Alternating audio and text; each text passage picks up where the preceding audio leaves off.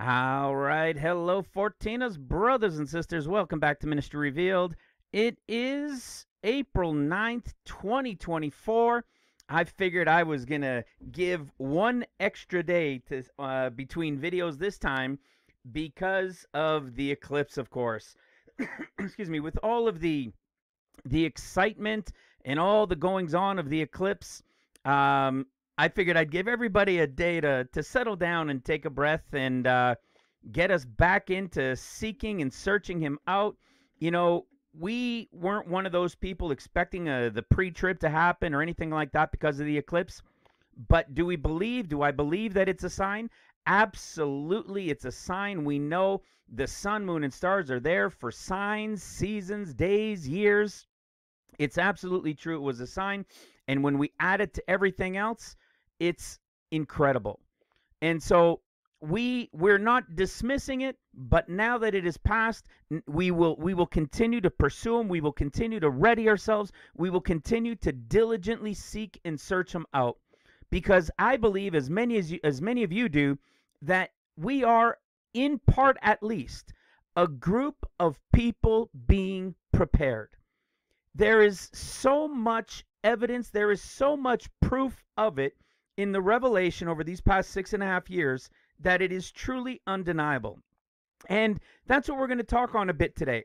A little bit more of this this this refresher and building on with new insight to this remnant worker group. This is what is happening here. This is what is being prepared. Does it mean as as you've heard me say many times, does it mean that everybody who's a part of this ministry in some shape, way, or form is going to be a remnant worker in the end of days. No. But is a good portion, is there going to be a, a good number of people? Probably. Because we're being prepared. We're being prepared with the understanding of his revelation that when he comes for the 40 days will complete the understanding in us and the time of tribulation will begin. So I want you to remember as, as we get going, and once I get into the scripture part of it, you're going to remember certain words that we've shared along the way, things that have been revealed to us that that we know have been mysteries since the creation of the world.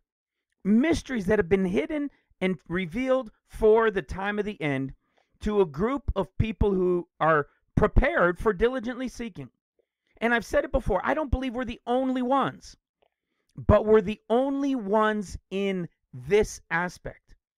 There are so many other watchmen out there that are preparing or getting ready, but yet refuse to see the revelation. I don't know why. I don't have an answer for it, except to say we have seen evidence that it's not meant for everybody because there is a group within this remnant being prepared with this revelation. We saw it in um, was it in Polycarp's apocryphal writings? You know, one group, and then Polycarp comes along and and didn't really have it, but this other group had it. You know, we see this type of thing, and we're going to see that as we discuss this and get into this here today, because this is all about His holy remnant. Okay, that's what we're going to talk on today. Things we've talked on many times, but I caught some new stuff as I was digging into something that our brother Jake shared with me. I was doing some digging and found an interesting connection as I was going into Revelation chapter 1, a place, as you know, we haven't gone into very often because it always seemed pretty straightforward. And I started reading it because some of the, the beginning of it sounded very post trib. And then I kept reading and and saw the way it was laid out as it as it moved in the second half of chapter 1 and I thought, wait a second, that sounds familiar. And lo and behold, you guessed it. It was familiar, giving us more evidence to the revelation we've already revealed. And this is something, when I say mysteries from the beginning, think of like, as it was in the beginning, so shall it be in the end. The, the mystery of the first and the last, right? The first and the last the Aleph and the Tav. Aleph. Do you know any other ministry who has had the revelation of Aleph as we've been given? I don't. And that's connected to this remnant group. It's awesome. So, those are the types of things we're going to go into today. And I'm going to start, of course, as I always do, to anybody that's new coming across this video or anybody that's newer and hasn't yet watched, you can go to ministryrevealed.com right here and click on the intro tab and watch the first four videos. Or you can stay on on YouTube, come to the playlist link right here and watch the first four videos in this playlist.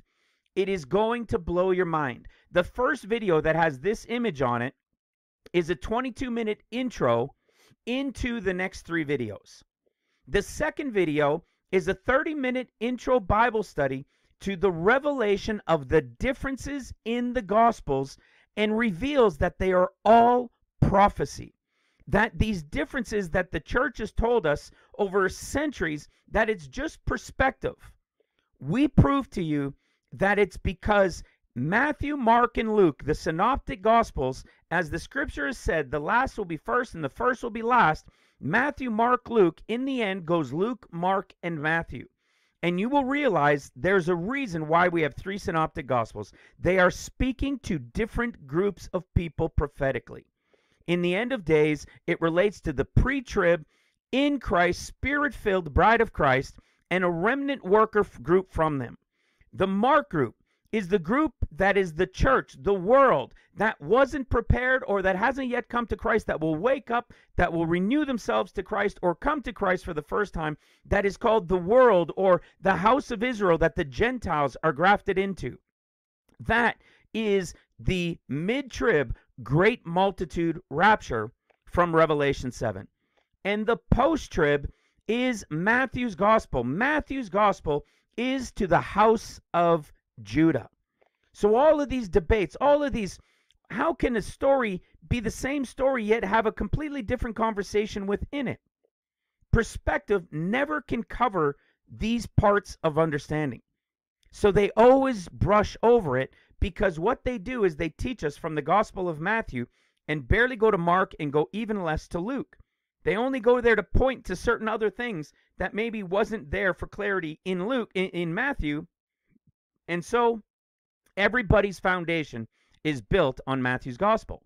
Well, once you realize this differences in the gospels just in that 30 minutes, you can then go to this, the third video, which is another 30 minute video that reveals that the end of days is not seven years long, but is truly, unequivocally, in fact, 14 years long, two sets of seven, with a portion called above that is 50 days. It begins with the pre trib. There are events during the 50 days, and then the 14 years begins at the Feast of Trumpets. We've broken this down. We've got videos explaining all of this. And this is what you're going to begin to see in the third video, the 30 minute intro of the 14 years. And how did all of this get missed? How how did we only end up seeing seven years for so many centuries? The answer is everybody's understanding has been from the Gospel of Matthew. When the world's foundation of the gospel comes from Matthew, they're looking, unbeknownst to them, through the eyes of Judah. And so when somebody says the pre trib happens first and everybody who believes in Jesus, everybody is going first, they're really talking about being at the end of seals in Revelation chapter 7 and then there's going to be seven years of tribulation. Well, unfortunately, because they've never understood what Mark's gospel is about and what Luke's gospel is about, that's as if they're at the end of seals because Mark's portion is the seven years of seals. You will come to see that pre, mid, and post are all true, and that's why the gospels or or the the epistles and many things throughout scripture people can defend pre, mid, and post from Scripture. When they try to defend pre and mid from Matthew, they're wrong because Matthew is clearly post when it says immediately after the tribulation of these days, of those days, and then it goes into the story of Noah, which relates to the final 14th year of tribulation. It's absolutely fantastic, and I promise you it's worth every moment of your time. When you go to the fourth video, that's the big one. It's about two hours and 45 minutes worth every moment of time to listen because you're going to see the reason it's all because of Matthew.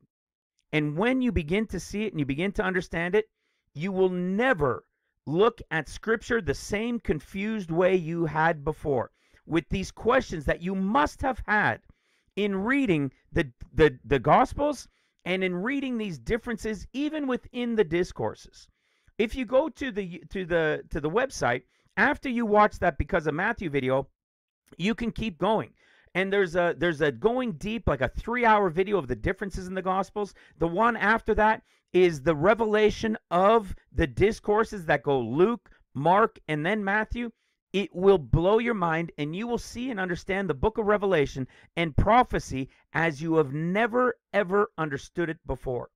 It's so wild that over the past six and a half years it brought us all the way back to the beginning of creation these revelations are so powerfully revealing and confirming in Scripture that hundreds and hundreds and hundreds of places we've revealed them in the same storyline prophetically over and over and over again, all the way back to the creations.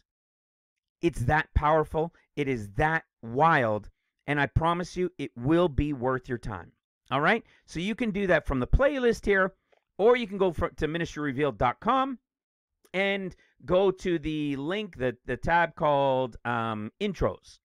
The other thing, sometimes you'll hear me say, uh, as you will tonight, that, um, uh, you know, somebody shared this in the forum or shared this with me in the forum.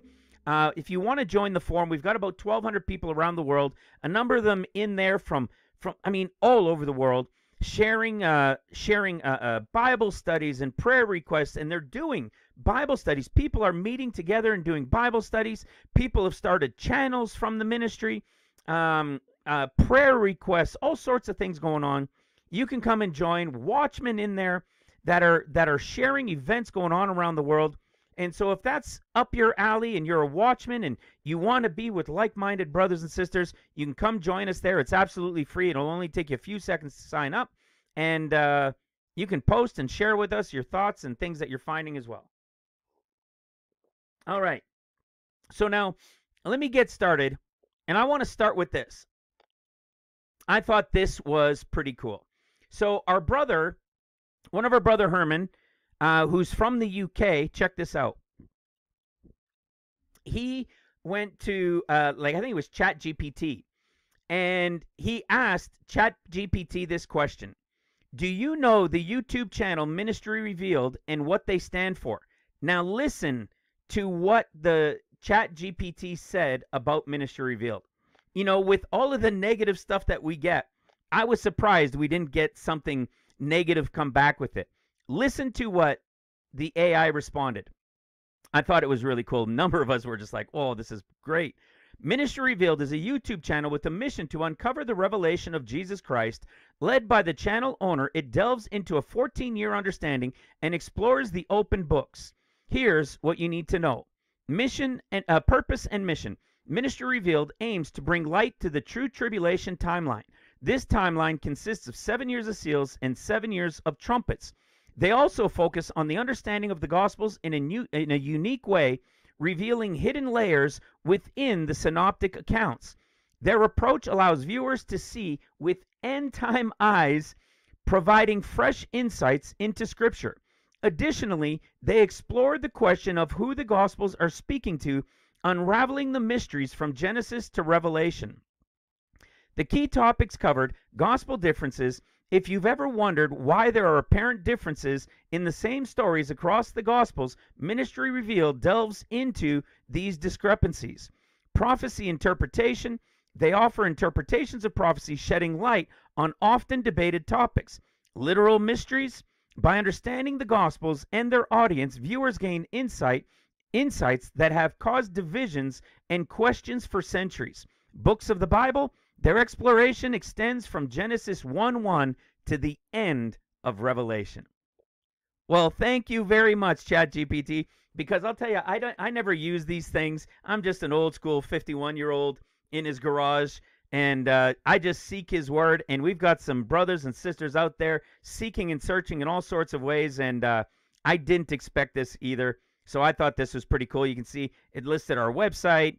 Uh, our donations come through PayPal. We wrote a book that is available for purchase on Amazon in book or um, uh, uh, e, e, uh, um, ebook, but we do also, as it says, offer it in free PDF in five different languages. So I just thought I'd share that. I thought that was, uh, I thought it was pretty cool because I was surprised by it. I never expect, I, I never to rarely expect uh, any good comments coming back on things like that. So, so that was nice to see. Now, who is this group of the end of days? You'll remember this quote. We've shared it many times, and it just came back into my thoughts as I was putting this one together tonight. This is one from Sir Isaac Newton when he said in one of his quotes about the times of the end, okay? As the end of days are coming, that's that's where we are. We are a group right here that he's talking about. A body of men will be raised up who will turn their attention to the prophecies in the midst of their uh, sorry and insist on their little literal interpretation in the midst of much clamor and opposition. This it's like he foresaw us. He wrote this with this prophetic insight that he knew would happen at the time of the end. This we're a group of this people right here that he's talking about that he somehow saw or understood would take place at the time of the end. Okay? Now, I'm going to share this with you. This was a this was a great little video. Many of you, if not all of you, know David Wilkerson has uh, since passed. But listen to this powerful video. We're going to listen to the whole thing.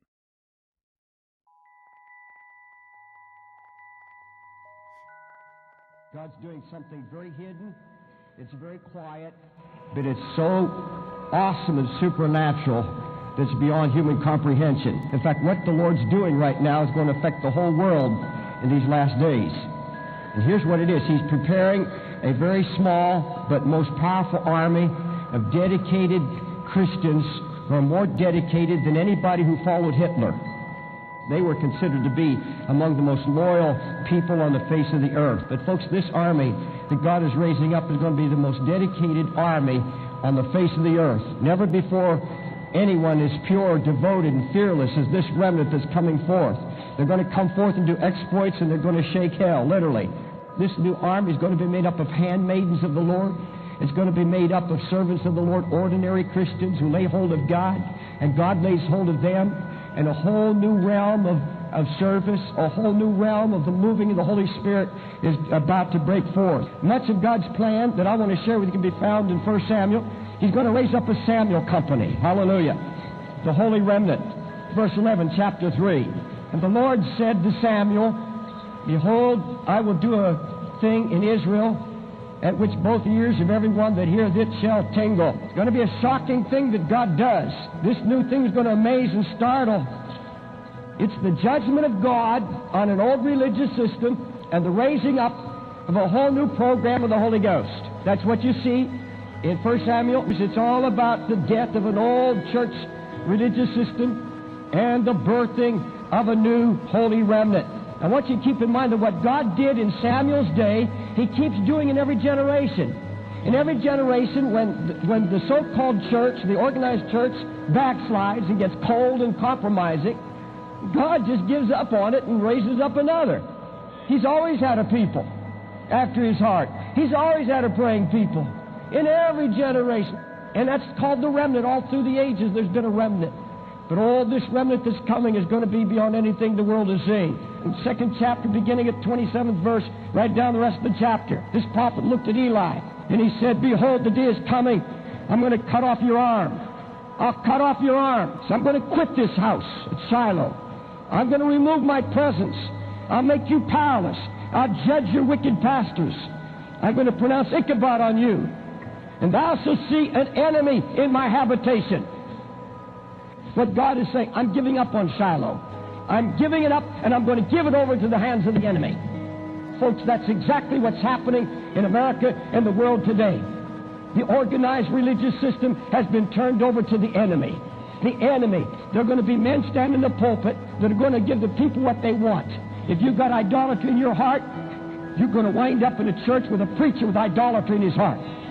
And that preacher's going to minister to that idol that's in your heart. He's going to tell you it's okay to sin. It's all right to be a sports fanatic and not pray or seek the face of God. You can go to many churches, even Pentecostal churches, and it's death. God's not there. God's gone. Will you steal, murder, commit adultery, swear falsely, and burn incense unto Baal, and walk after other gods whom you know not, and then come and stand before me in this house? Which is called by my name and say, We are delivered to do all these abominations. In other words, we're safe. We're no danger. We're not going to lose our salvation. Prophet says, Go back now to my place which was in Shiloh. Where I set my name at the first. And see what I did to it for the wickedness of my people Israel. While the church of Eli was under judgment and being forsaken by the glory of the Lord, God was busy raising up a remnant. Samuel represents the holy remnant. And I want to show you how God trained Samuel to come up to take the place of this dead religious system, how God had a plan. And this is what God's going to do. This is what He's doing right now. He's training many of you. I believe when I'm finished, you'll be able to know whether or not you're a part of this remnant that He's raising up to do His work in the last day. The remnant is always birthed in prayer and intercession. Always. Hannah birthed Samuel through bitter tears and much prayer. Listen, please. If you're going to seek God with all your heart, with all your soul, and all your strength, you're going to feel the pain and the grief of God for His church, you're going to suffer consequences. You're going to be misunderstood on all sides. You're going to people accuse you of all kinds of things. Hannah prayed, If you give me a man child, I'll give him unto the Lord all the days of his life. And the word, the name Samuel means God heard my prayer. That's what Samuel means. Folks, God's hearing the prayer of a people in his house, of people who yearn for an outpouring of the righteousness of Jesus Christ, of people who yearn for an outpouring of the Holy Spirit upon their sons and their daughters, of people who want to see the glory of the Lord come down on his church, of people who want to see God move in a very special way in these last days. God's going to hear their cry. Now, these are people really on their face seeking Him. These were people who were pouring their heart out to God. And there were people that were given, according to Hannah, given to the Lord all the days of their life. These people are so committed, there's no thought of backsliding. There's no up and down, in and out, hot and cold. They are wholly given to the heart of God.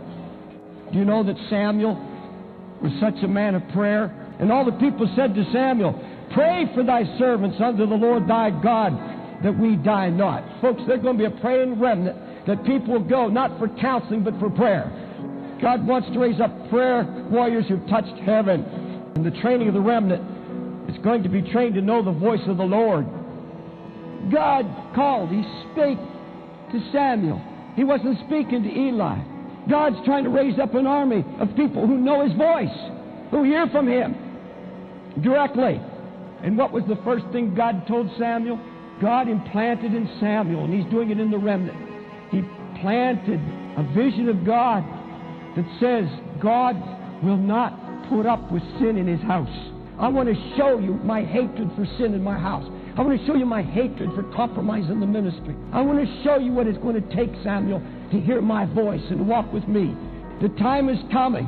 The time is coming when people are going to want to hear this word from heaven. And folks, if you want to hear from God, God will speak to you.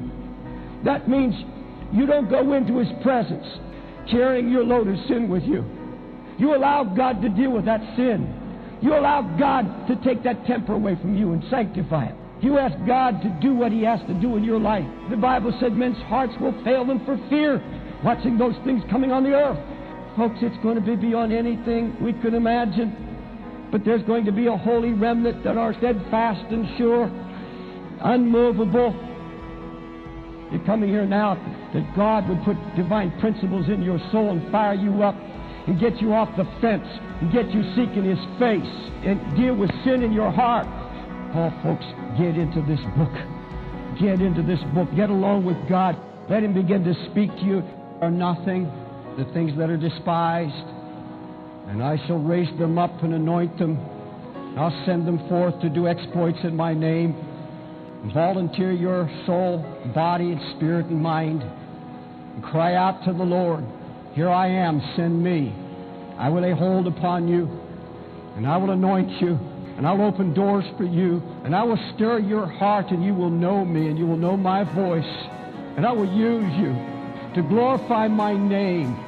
You will never have a name, but my name will be glorified through your lips and your heart. You'll never be recognized, but I'll recognize you. And on that day, I will reward you because you were faithful to the call. Well, I guess that covers it all. See you for the evening. I'm just kidding. Man, if that doesn't get you going. Does didn't 8 minutes and change cover so much of what we talk about here in the ministry? Unbelievable the stuff. I was trying to make little mental notes as I was listening to it again, but I couldn't. There was like a dozen of them and I I just kept forgetting the other ones because they just kept coming and coming. You know what? Volunteers, right? What do we know? Volunteer warriors. What what's coming for the for them in the end? The reward with the Lord. All of these things over and over and over in this one 8 minutes and change. You know, another place you guys should check out if you haven't is our sister Petra's channel. It's called His Fair Maidens. So you you heard that even he mentioned it in uh, the the Wilkerson video. He even made a mention, right? Because it's going to be maidens and servants, meaning the males and the females. We know who this is talking to. And this was a great one. I was watching this. This again, this was posted in the forum uh, just a couple days ago, maybe two, three days ago. And I thought I had seen it, but I don't know. I maybe I just wasn't fully paying attention. But I was listening to it this time, and uh, it it's so powerful. She's got some very, very good words from the Lord, and it's about strengthening and and getting ready getting a group ready. That's what we do here in this ministry, of which she's a part of, and she prepares a group as well. And a lot of what she's preparing is with women, but not only women. Okay, we prepare everybody who's ready, but she has a focus with her with uh, his fair maidens as well. And this was another great one. So if you haven't uh, gone to her channel, his fair maidens, uh, check it out as well. This was a great video. So who is this group? You're going to notice this wording will, will pop up as we keep going. But who is this group? All right? We know that this group is right here. So if you recall from when we've taught these things in the past, we have revealed the seven churches in the end of days. Unequivocally, we have understood it. It's there, it's laid out, we've got it. It's been a mystery for centuries as to how it was going to play out in the end of days. I've said it before. I remember hearing Chuck Missler say that he knew that even though he didn't know how, he knew that one day it would be revealed as to how the seven churches will play out in the end of days. And we've revealed it. Talk about a blessing, right? But it couldn't have happened without the revelation of the Gospels, which reveals the years and brings us to the churches and everything else. So, what do we know about Laodicea?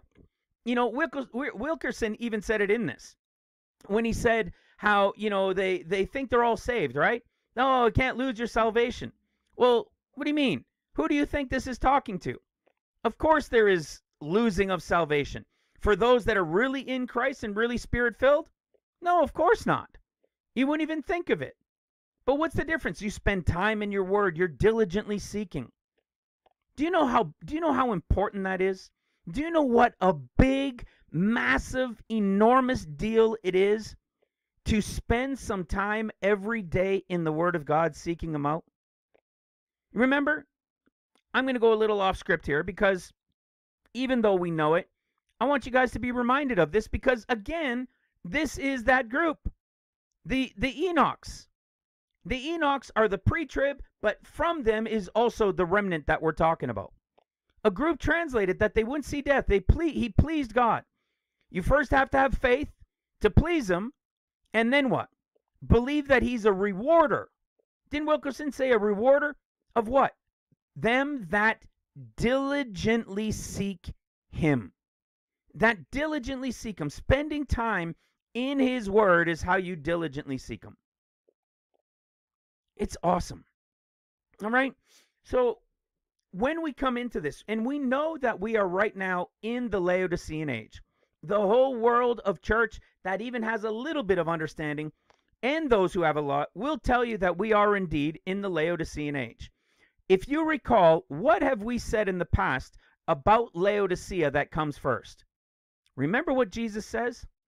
In Revelation chapter 3, verse 20 Behold, I stand at the door and knock. If any man hear my voice and open the door, I will come into him and will sup with him and him with me. We know what this means, don't we? We know precisely what this who this is speaking to.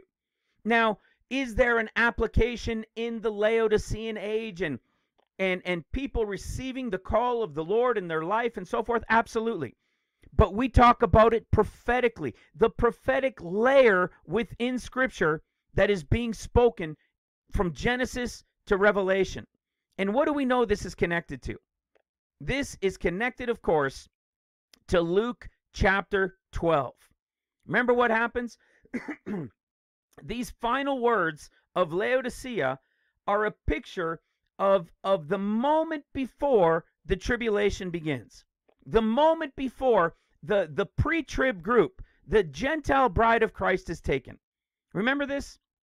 In Luke 12 35, let your loins be girded about and your lights burning, and you yourselves like, uh, like unto men that wait for their Lord when he will return from the wedding, that when he cometh and knocketh, they may open unto him immediately. Blessed are those servants whom the Lord, when he comes, shall find watching.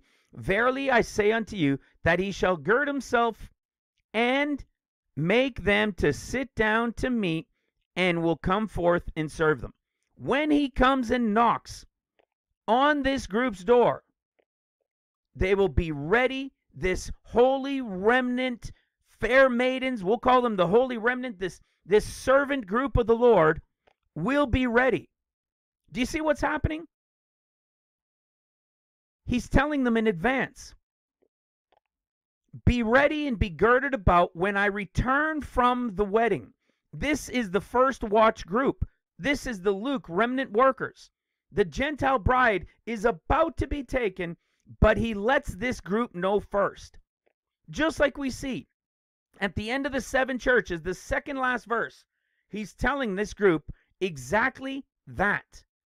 And then he, we'll, we'll get into this later, but the very uh, sorry the third last verse and then the second last verse revelation 321 he tells them what their reward is going to be we'll get into that later. So he's telling them at the beginning be ready and he tells them what the reward will be at the end when laodicea in tribulation days are over. We see then of course then there's a second watch and a third watch. The second watch we know are the 144000 and the third watch are the tribes during the millennial reign. This first watch group, he is warning them before the pre trib group is taken and he's going to the wedding. Who is this group? We know it very, again, this is something we know very well. Let's go into our wonderful E sword. When we go to E sword, we know that there's a wedding story a wedding feast in Luke, there's none in Mark, and there's one in Matthew. We know it's because one is the Gentile, one is the Jewish bride at the end. This wedding feast, we've talked about many, many, many times when he says, When thou art bidden of any man to a wedding, sit not down in the highest room, lest a more honorable man than thou be bidden of him, and you're told to go sit down in the lowest room. He says, Just go sit in the lowest room and if there's a place of honor for something for you, he will come and get you and call you friend, go higher. We've talked on this many times. And this is the piece of this meal that he's having when he returns from the wedding. This is why, as we've shared, that the great banquet that is only found in Luke's gospel after the parable of the wedding, this is precisely the group that he was speaking to in Luke chapter 12 that he was forewarning, saying to be ready when I return from the wedding. Be girded about that when I knock, you will open unto me, and I will come and sit and have a meal with you and serve you. There's the wedding. The pre trib taken to the wedding. And when he returns from the wedding, he's having his meal with his remnant, holy remnant workers, who are those who are going to be part of the resurrection of the just, as we have covered many, many times. Who else is this group? We know them from Luke chapter 24, right? Luke chapter 24, we see this remnant group represented as the two on the road to Emmaus. This too represents the the the John the Baptist types. We know one is a representation of Moses and the other is Elijah. Do you realize did you realize this in all of our teachings? That that this these two that are called the witnesses, okay? You only find this wording in Luke. So here's the two of them on the road to Emmaus. They're with Jesus. We find out that they end up having a meal. Okay? In Luke 24 30, he says, And it came to pass as he sat at meat with them, he took bread, blessed it, brake it, and gave it to them. This is the only group from the end of Luke compared to the end of Mark, compared to the end of Matthew. This is the only group that he sits down and eats with and has a meal. Remember the ones in Luke 12? Right? When he returns, he's going to have this meal. This is when he returns after the wedding, and he's here on the eighth day.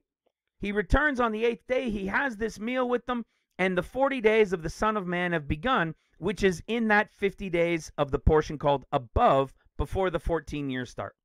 Okay? Well, what does it say about these two? Well, we see that he's going to open their understanding right? He's going to complete this this prophetic revelation that's been happening with the law of moses the prophets and the psalms of these things that are still to be completed concerning him. And he opened their understanding that they might understand the scriptures. And then what does it say? Luke 24 47 and that repentance and remission of sins should be preached in his name among all nations beginning at jerusalem. And what does he call them? You are witnesses. You are witnesses. So there's two on the road to Emmaus. He has that meal with them. They're the ones that he opens their understanding and he calls them the witnesses. Isn't it isn't it interesting that we know the picture of when the Lord comes on the 8th day after the wedding, which is connected to Luke chapter 9?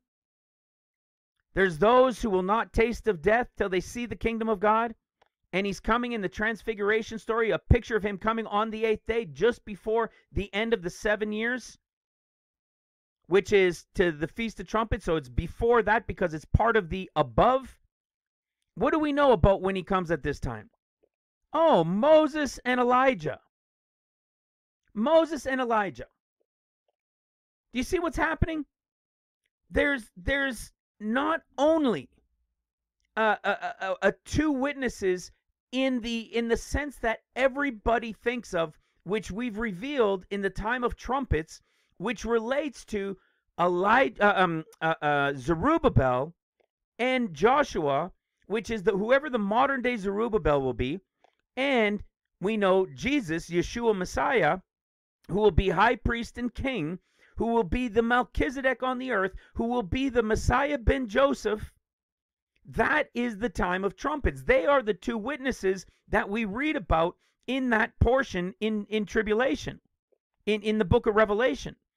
But during the time of seals, there are also two witnesses.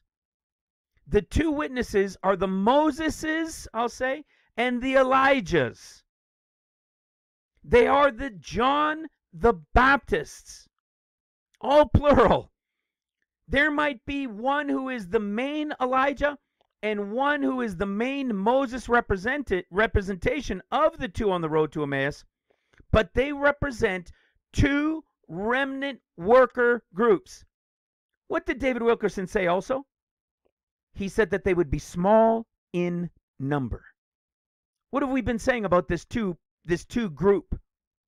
We've been saying for years now that I believe that they are the 24,000 not mentioned in the 144. I believe that they are 12,000 and 12,000. One is the good side of Dan, the other one is from uh, the tribe of Ephraim. Okay? Those are the two that aren't mentioned. And what do we have? Two on the road to Emmaus. Two witnesses here when he returns on the eighth day. Two that he has the meal with. Is it only because they are going to be the only two as as as the holy remnant during the time of tribulation during seals? No. They might be the leaders, the heads of the two groups. But they are not going to be the only two. And we've shared on this so many times, right? because it's fantastic revelation to understand. John the Baptist is a type of Moses and is a type of Elijah. Moses, who did what he did, never got to cross over into the promised land. And it was Joshua, a picture of Jesus, who would then take them over into the promised land. We know that that's a picture of the end of seals. The Moses worker was there. Moses is the one that let my people go, and he takes them into the wilderness. That's mid seals, midish seals. When the mark of the beast comes and they got to flee into the wilderness. That's Mark's discourse. And you got that Moses type that leads them into the wilderness. Those Moses remnant workers that lead them into the wilderness. That will be doing these great exploits for the Lord. In this time of, of the greatest revival in the midst of World War III in the first two and a half years of tribulation. Until the Antichrist comes to his full power. And then we've got it uh, uh, with Moses. What happened with Moses? Moses, as I said, he didn't get to cross in the promised land. So what happens? They're now coming out of out of the wilderness. Moses isn't allowed to go. What happened to John the Baptist? John the Baptist gets beheaded when Christ comes and Christ takes over. Sounds similar. Moses didn't get to go. Mo, uh, John the Baptist uh, uh, gets beheaded, like a picture of those being beheaded of the workers. When we read from Luke 20, uh, 21, some of you, right, will, will be killed we know that connection. We'll talk about it in a bit. And we know that some of them are going to die. And then you've got Elijah. You've got Elijah who's going to be doing his work, which scripture tells us Moses, uh, um, Elijah is the type of John. And we read just recently and broke it down in Malachi that Elijah being spoken of in Malachi is clearly the prophetic Elijah to come. They represent both, but these guys are during the time of seals. So John the Baptist is a picture of both because what happened with Elijah? Elijah didn't get beheaded and die. Elijah got to take, take got taken up in a whirlwind. Got taken up in a whirlwind in the chariots and up he went.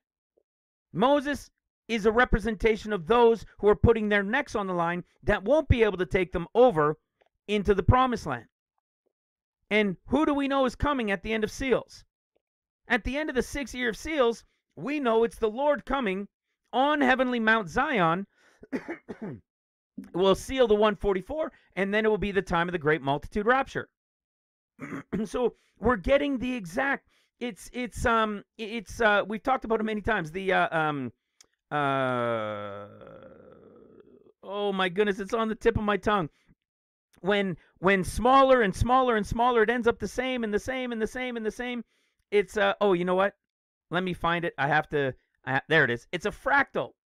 Everything is a fractal and it plays out over and over and over again on different scales. That's what's going on. It goes from big to small to small to small to small and the exact same thing is playing over again. This is these are the representation of the holy remnant as a John the Baptist Moses side and a John the Baptist Elijah side in the time of the end. They are the remnant workers. They are the ones that he's having a meal with and that he calls them his witnesses. There's only two of them here that he's talking to one of 12,000 and one of 12,000. A small, powerful remnant coming forward. you remember? Let's go into Luke. This is where we're, uh, sorry, in Revelation chapter 2. We're to have a fair bit of focus in here today in Revelation chapter 2. So we know that what happens is the Lord is going to meet with that remnant group first, just as we saw. After he meets with that remnant, bang, the pre trib is going to happen, right? The pre trib will happen after that. We're going to talk about that in a bit. And when that happens, the seven day wedding takes place. He is given power to the apostles, his new modern day apostles, and then he returns on the eighth day, which is the two on the road to Emmaus represented in the church of Smyrna. And what do we know about them? Well, of course, we see some of you shall be cast into prison, you some shall be tried, uh, um, tribulation 10 days, be thou faithful unto death. So, what do we know about them? I know thy works, tribulation. And you know what's interesting is we've done this study. When you look in the word tribulation, the different words for it, but the definition, the definition of tribulation is not found in Luke's gospel. Pretty wild, right? But it's found in Mark and in Matthew's. That's because this group is working during the time of seals. And it's saying, I know thy tribulation and poverty. This is something that was shared from a brother Jake that I was digging into as well, that he had shared with me. Okay? And I know thy poverty. Some of you be cast into prison, be tried 10 days, be thou faithful unto death. Well, we know that the some of you is directly correlated to Luke's discourse. Luke's discourse is the 40 days. You can say the 50 days that are the above 50 days, the pre trib happens, right? So if you come down to Luke 21, 34 through 36, this is the pre trib. The whole world is going to be caught off guard, caught up in the cares of this world. And so that that day come upon you unawares, it's going to come upon the world unawares. They're going to be caught in the snare. But those who are watching and praying, those who are diligent in the Lord, spirit filled, are to be what? Accounted worthy to escape all these things that shall come to pass and to stand before the Son of Man. This is bang. Pre trib happens, and now the count is on. He's now gone to the wedding. Okay? So he informed his remnant workers. Then he takes the pre trib and he's gone to the Gentile wedding for seven days. When he returns from the Gentile wedding, he has his meal with that group of remnant workers. Now, listen to what happens. We know in Luke 21:10, then said he unto them, Nation shall rise against nation, kingdom against kingdom. This is the time when the red horse rider begins. This is the time when World War III breaks out at the end of 50 days at the Feast of Trumpets, when Jerusalem will be attacked and destroyed, and they will be scattered and flee, some taken captive. The destruction of Jerusalem is the beginning of the 14 years. And it happens after the 50 days. Now, listen to what happens in Luke 21 12. But before all these, only Luke's discourse has this, as you guys know. And listen to what it says. All the but before all these, they shall lay their hands on you and persecute you, delivering you up to synagogues and to prisons. So we can see there's the delivering up into prisons. We come down to verse 16, and it says, And you shall be, be betrayed both by parents and brethren and kinfolk and friends, and some of you they shall cause to be put to death. So going to prison and being put to death. What did we see in, in Revelation chapter 2? This exact same group, as we've shared many times, having the exact same account where they will be put into prison and some of them will be put to death. All of this, all of this beginning stuff, all of these things from the end of Revelation 3 in Laodicea is a conversation with this group of remnant workers who are the Moseses and Elijahs of the remnant workers, that small remnant group in Christ, spirit filled. And this is when he's here with them at the time of the 40 days beginning. We know they're not only here during 40, they will be here after they get anointed, of course, as well by the Holy Ghost. And then they will go out from Jerusalem. Then Jerusalem is attacked and the 14 years begin. All of this is connected as many as you as many of you guys have heard and you've understood over the years. We know who this remnant is or or how they are represented in scripture in the pre. We know this group. Doesn't it doesn't it make sense that if there's been a group of people being prepared in the word that that there was a group at the time of the end that would diligently seek for the literal interpretation of these things not be the ones being prepared? Of course they are. Of course it's a group of them being prepared. And wilkerson even said eh, that they would be voluntarily doing it right? They would volunteer it for the love of the lord. Well isn't that funny? That's something we've recently revealed as well we know Deuteronomy 16, the three feasts of the Lord. The pre trib one has to do with the Feast of Weeks. Then it's the seven days as years of unleavened bread. Then it's the seven days of year as years as tabernacles. And then the eighth day is the new beginning, which is the millennial reign and the final jubilee in the millennial reign. We've understood this. And what did we just reveal in the last video? We see in Deuteronomy 16:9 when we understand that the the, the it, it's all about winter wheat for the pre-trib. We know it's this revelation we've shared on over the years for winter wheat that comes first. Winter wheat being the Leah. And we can prove it and have proven it. We know that it relates to two things. It relates to the Feast of Weeks, which is a pre trib group going who are in Christ, spirit filled, going to the third heaven.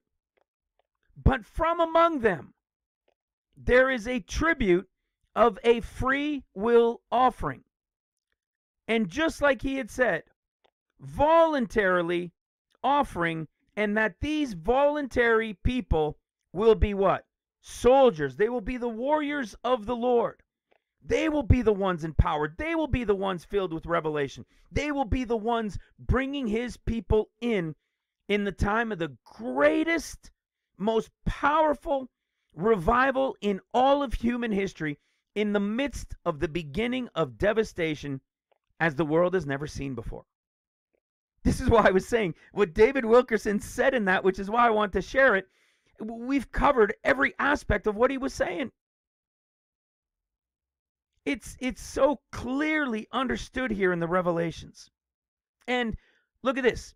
When we've talked about this in relation to the Feast of Weeks, and we've brought it to the Leah and the Rachel, which we recently broke down as well. What do we know about Leah? Leah is the older who has to go before the younger, the firstborn before the sec uh, before the younger.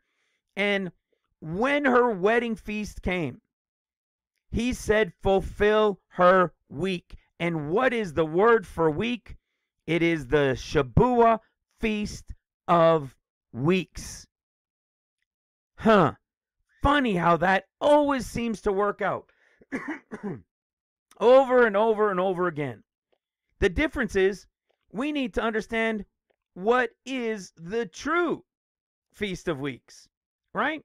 How do you count the true Feast of Weeks? Well, listen to what it even says here in the book of Jubilees. This is about the Feast of Weeks. For it is the festival of weeks and is a festival of first fruits. For it is a for this festival is of double nature and double kind. We haven't shared on this in quite a while. It's a dual feast.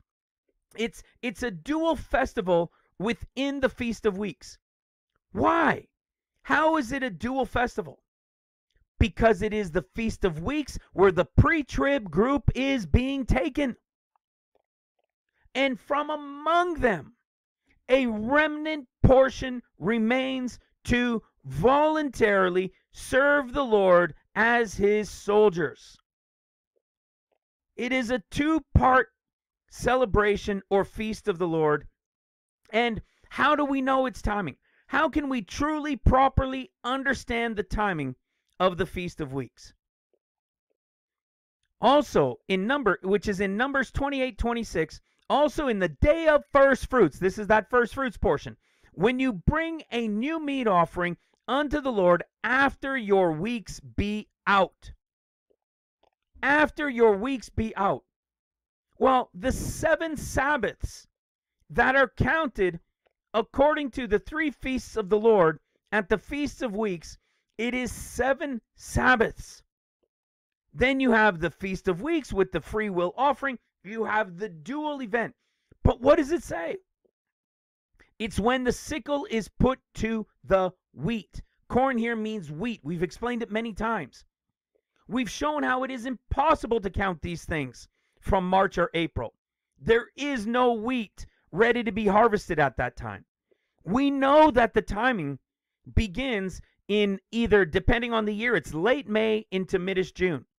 This year it starts the seven weeks in midish June.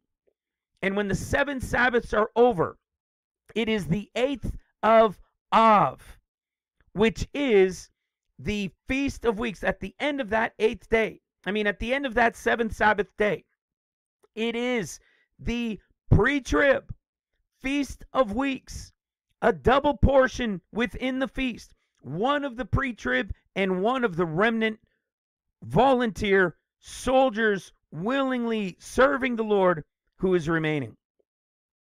It cannot be earlier, and we've explained it, we've broken it down. And from that point, which, by the way, for anybody wanting to know, that equals August 12th. And from the following day, from the 13th of August, it begins the 50 days above the 14 years that we've been talking about. And lo and behold, for anybody that's wondering, from the 13th of August or the 9th of Av, the first attack on Israel, 50 days later is October 2nd, the last day of the year, which is the Pentecost true count that followed the 50 days after the seven Sabbaths. This is the harvest or the festival of new wine. And what happens? That group of remnant workers, after having been with the Lord for 40 days, gone to a place where He instructs them to wait for the anointing of the Holy Ghost, they will receive the anointing of the Holy Ghost. If it is this year, which we believe it is, and the signs are telling us clearly, then October 2nd would be that day. And on the day and hour no one knows, Jerusalem is attacked after they have left Jerusalem. Do you realize, as we shared in Luke chapter 24, the only group, the only group that's told that they would begin from Jerusalem? You don't find that at the end of Mark. You don't find that at the end of Matthew. There's a purpose for it. There's a purpose, there's a reason for it. You see, we've shared on these things many, many times. There is a difference between spring wheat and winter wheat. Leah is winter wheat. Rachel is spring wheat. Winter wheat is sown in the fall, lives through winter, and is harvested in the summer. Spring wheat is sown in the spring and is harvested in the fall. Leah is winter wheat. Rachel represents spring wheat. Leah is the pre trib and the remnant workers that are going to be harvested we believe, this year at the true Feast of Weeks. The Rachel portion is in for seven more years, or in that seventh year. After the six years of seals, it will happen in the seventh year. And what happens in the seventh year? Well, this wheat is planted in the spring and it's harvested in the fall. But it can't be used until the following year Passover. Okay? these are the types of things we have broken these things down before. We have understood it, and I I don't think I have ever heard anybody talk about winter wheat being the first. That winter wheat is the thing being prepared for harvest at the pre-trib as Leah. Nobody has understood it. You know, we shared it again. Something recently with a recent revelation from John chapter 4. When Jesus says, Say you not, there are yet four months, then comes the harvest? Behold, I say unto you, lift up your eyes and look, for look on the fields for they are white all ready to harvest he was literally telling us you guys are looking for your for your uh Rachel because all Jews focus on Rachel when you should be aware that 4 months earlier the Leah is ready to harvest first. It doesn't mean Rachel is harvested 4 months later. Okay? It means that like any harvest, every single year there's these harvests. Every single year they plow it. It doesn't mean every single year a pre-trib and a mid-trib happens. He has told us, you guys are busy looking for the Rachel I'm telling you to lift up your eyes because it is time for Leah first. It is time for the winter wheat before the spring wheat. The old before the new. Now, let me share this with you. This is pretty awesome because this is an older video. Look at this September 14th, 2015. Our brother Ivan shared it with us in the forum. And I had to share it because I believe this is the first time I ever heard anybody mention winter wheat. Let's have a listen. Please prayerfully discern this and all other words uh, you hear. Okay. My daughter, write my words for those with ears to hear. I see the excitement of my children that are aware of the time we are in. Expect to be hearing me loud and clear, my loves. Be still and listen, and I will give you wisdom and knowledge. I assure you that as evil is poured out upon your earth, my Holy Spirit will be increasing, and there will be a major increase in the anointing of my saints. My Holy Spirit will be coming upon many now, and they will, for the first time, be fully awakened in their spirits to my love and supernatural protection.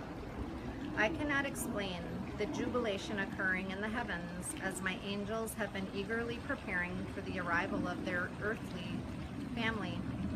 There will be several harvests, my children, and some of my There you go. Several harvests. it, for the longest time, people hadn't considered several harvests. They think it's a pre trib or a mid trib, and then the return of the Lord post trib. They believe in one or the other, and then, of course, the Lord returning at the end. We know there is a pre, a mid, and a post, and events that happen along the way.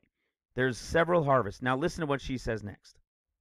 my warrior saints Warrior saints. shall be changed in order that they are able to undertake the tasks that I lay before them of harvesting the winter wheat.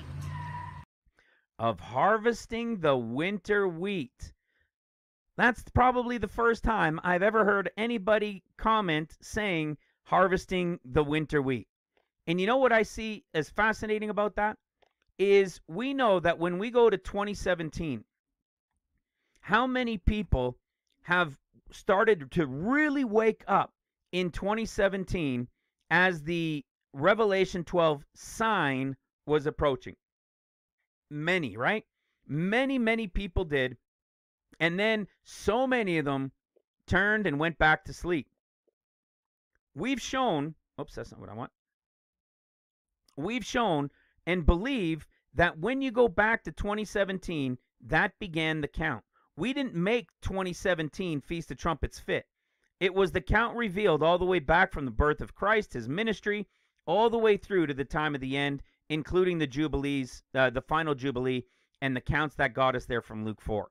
So, isn't it interesting that a group, so she had that back in 2014, and 2017 comes, and I know it happened for me, and I've had many, many, many people share with me over the years how 2017 was the year when things really changed for them too.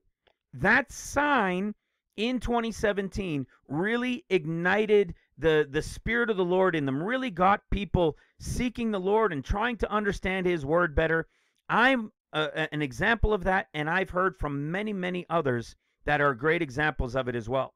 So to see that she's saying a group being more spirit filled uh, a group being being warrior type, being prepared in the end of days, who are preparing what? Who are preparing for a winter wheat harvest? Who are preparing for a winter wheat harvest? And what do we know comes from this winter wheat harvest? We know that from it, there's this dual feast taking place, this dual event within the Feast of Weeks. The group going to the wedding for that Gentile bride wedding, and the remnant workers who are his voluntary warrior servants. A group preparing the winter harvest. This is what we're doing. Do you realize that what's happening within us and what's been happening over these past six and a half years is this growing closer and this revelation of the Lord and drawing closer and closer and more and more understanding continuously being poured out. And what do we do? We're sharing it with others. Many of you are teaching, many of you are doing Bible studies. You're doing these things all over the world because we are trying to wake up and are taking and are doing our part, not only us, but are doing our part in trying to reach more of the world to wake up and be ready as his winter wheat. But there's a group within this, right? Also being prepared from that Feast of Weeks winter wheat portion that are his holy remnant who will remain to work. now, let me take it a little bit further. This is not a time to do anything other than focus on me. When you remove me from your view, you will create openings for the enemy, and there is much more evil on your earth now. You must keep your lamps full. Stay in prayer, stay in my word.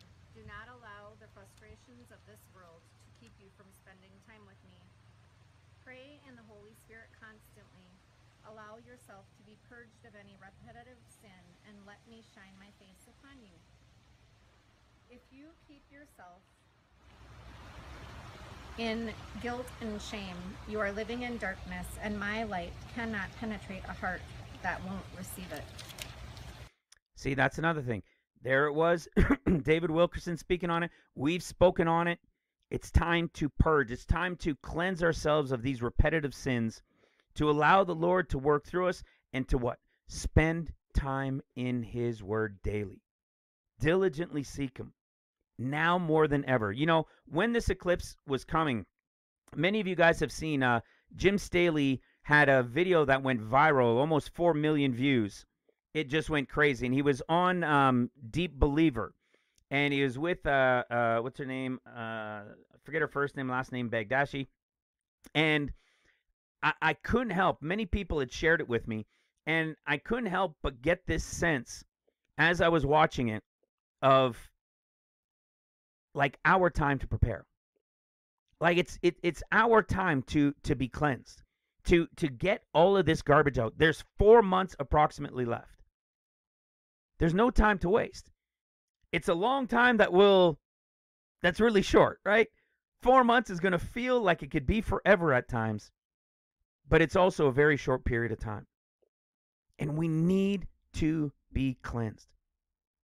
We need to remain righteous, diligently seeking, but don't wallow in those sins that they allow you to consume your thoughts and allow you to think that, oh, he will never do this for me.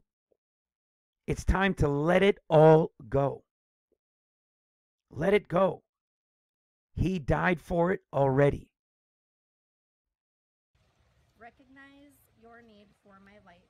Recognize your need to have every last drop of sin purged from your being. See that you cannot cleanse yourself and that you need me to do the cleansing. I alone can sanctify you. You cannot sanctify yourself. So again, kind of like a, a finishing to what I was just saying. So now,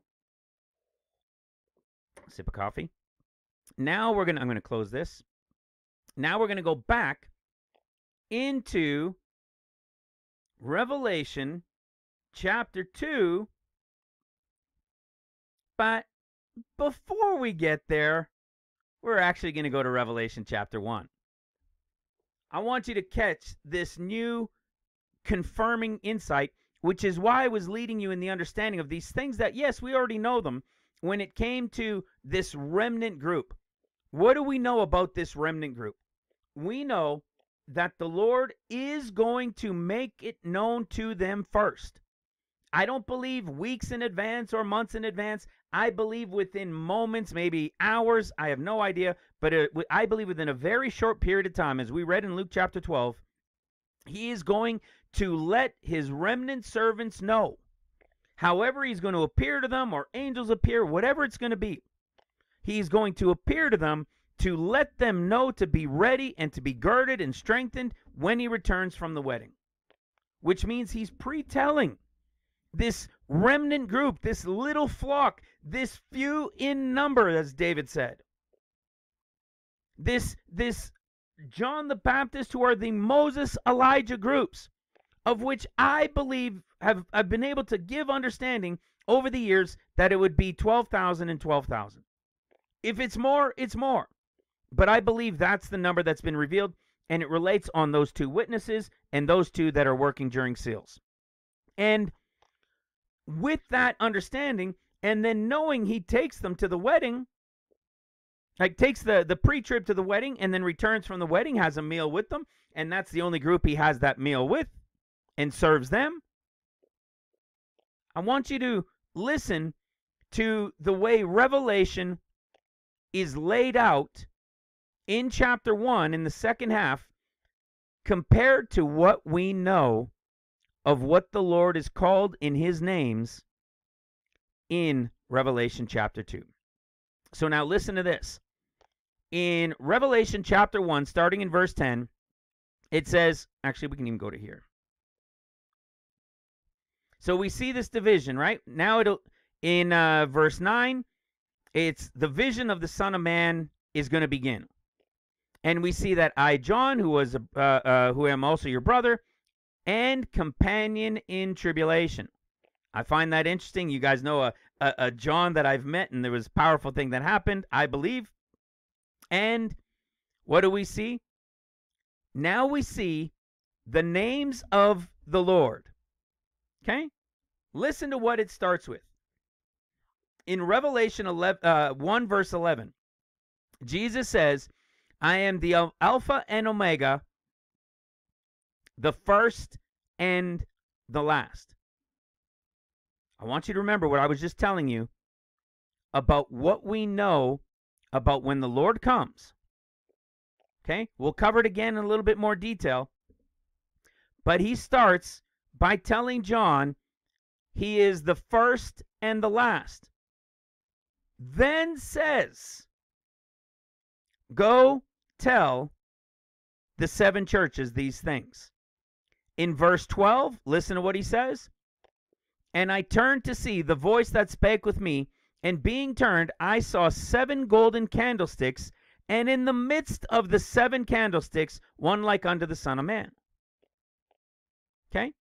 So we see the first thing he says is that he is the first and the last. Then he talks about being the seven golden candlesticks and being in the midst of them. Verse 14 And his head and his hairs were like wool, white as snow, and his eyes were as a flame of fire, and unto his feet, uh, and his feet like unto fine brass. Verse 16 and he had in his right hand seven stars. Now listen to this. And out of his mouth went a sharp two edged sword. And his countenance was as the sun, excuse me, shineth. Watch this. Go down to 20. Uh, sorry, sorry. No, that's right. And it goes down to 16. So what we just saw was it started with him saying he is the first and the last. Then that he's the one in the midst of the seven candlesticks, that he's his hair is white as snow and flames of fire and eyes, feet like brass. And then we see the sharp two-edged sword. I'll give you guys a moment. Ponder those things for a second. he starts by saying he's the first and the last. Then he's in the midst of the candlesticks. Then he's seen as hair white as snow and flames of fire. And then his two edged sword. Did you catch it? Let me help you. Let's go to Revelation chapter 2. Watch what happens when we go to Revelation chapter 2. In Revelation chapter 2, verse 1, it starts with the church of Ephesus. We know who the church of Ephesus, right, is, and we know, as we've revealed in the ministry revealed in the book, we know that Ephesus is a picture of the Lord coming and anointing the apostles right after he had taken the pre trib. We're going to cover it. This is a picture of the beginning of the 50 days. Then, when he returns from the wedding, is Smyrna. But remember what we just said about Smyrna? We know that right before this time, so before he anoints the apostles, right before he takes the pre trib bride, he's going to meet with the Smyrna group to let them know to be ready when he returns from the wedding. Okay? We're going to cover this. You'll see what I'm saying. Listen to how it starts.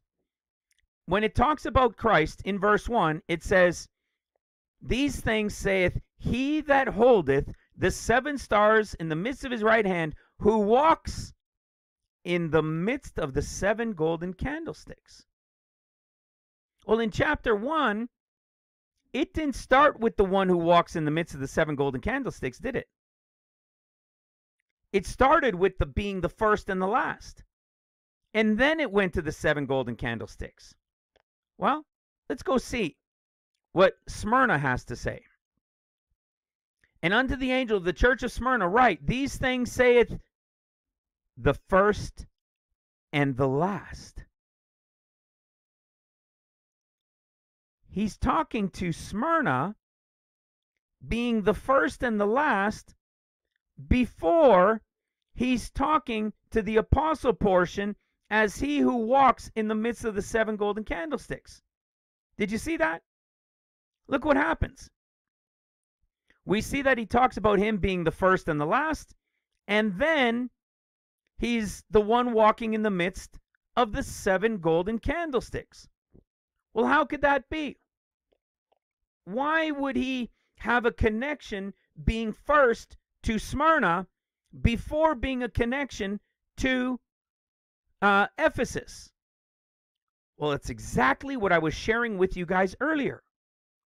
We know, and we have revealed this from Luke chapter 12 and Luke chapter 14. He visits the remnant workers before he takes the pre trib bride. And when he says, Let your loins be girded about and your lights burning, and, and you yourselves like unto men that wait for the Lord, and we return from the wedding, and that when he cometh and knocketh, they may open unto him immediately, and he will come in and sup with them and serve them. Watch this. Remember?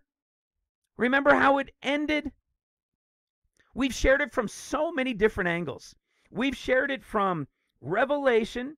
Well, we've shared it from Luke. We've shared it from from his discourse. We've shared it from the wedding parable. We've shared it from Laodicea because we're at what? We're coming to the end of the Laodicean age. And as the end of the Laodicean age is is finished, it's going to be right here. Whoops, it's going to be right here. Verse 20.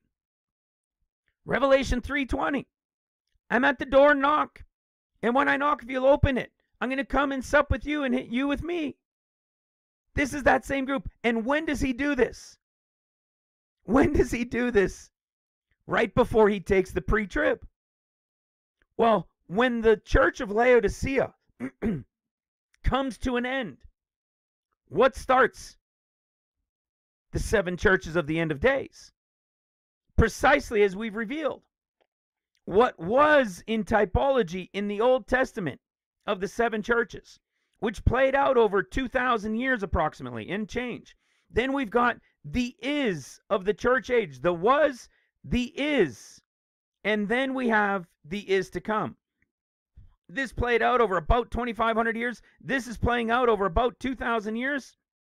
And when the Laodicean age comes to an end, it's going to come to an end with him first visiting his remnant workers, the volunteer soldiers of the Lord.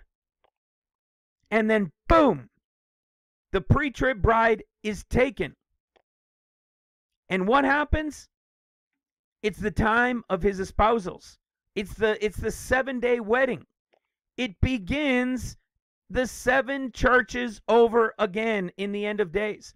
And what played out over 2,500 and over 2,000 years in the end of days will play out over 50 days and 14 years. This is why the end of days is going to be a time much worse than at any other time in all of human history, which David Wilkerson also spoke of briefly, which the discourses of Mark and Matthew clearly revealed to us as well. Because as terrible as these thousands of years have been in their portions, the end of days is going to be multiplied and more intense because it will play out over 50 days and 14 years. When Laodicea comes to an end, he meets with the Smyrna group remnant workers first. And what did he tell Smyrna? I am the first and the last. He's warning them first.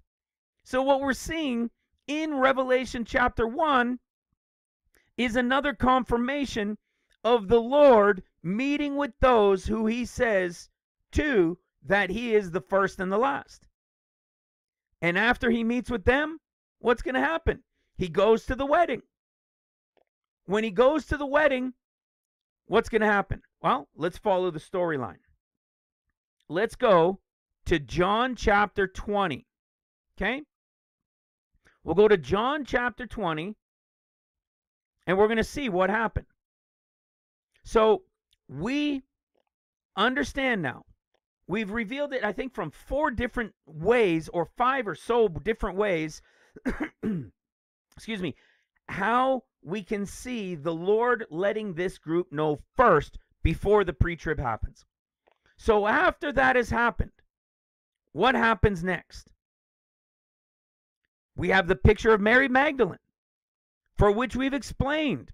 This the name of Mary Magdalene connects us as a picture of the bride in her being her name representing towers, which brings us to the Song of Solomon with the bed of flowers and her breasts like towers and all of that stuff, right? This is a picture of the bride now being taken. This is the beginning of the 50 days. So he meets with the remnant workers of Smyrna. He is going to be the first and the last, he tells them. He takes the bride, which is a picture here of Mary Magdalene. And then what happens? The wedding doesn't happen immediately because it says in John 20, verse 19, in the prophetic with the end time eyes, it says, Then the same day at evening, which means after he takes the pre trib, he's going to still return at the same day at evening. And he is going to anoint by this same, whatever the typology is, of breathing on these apostles.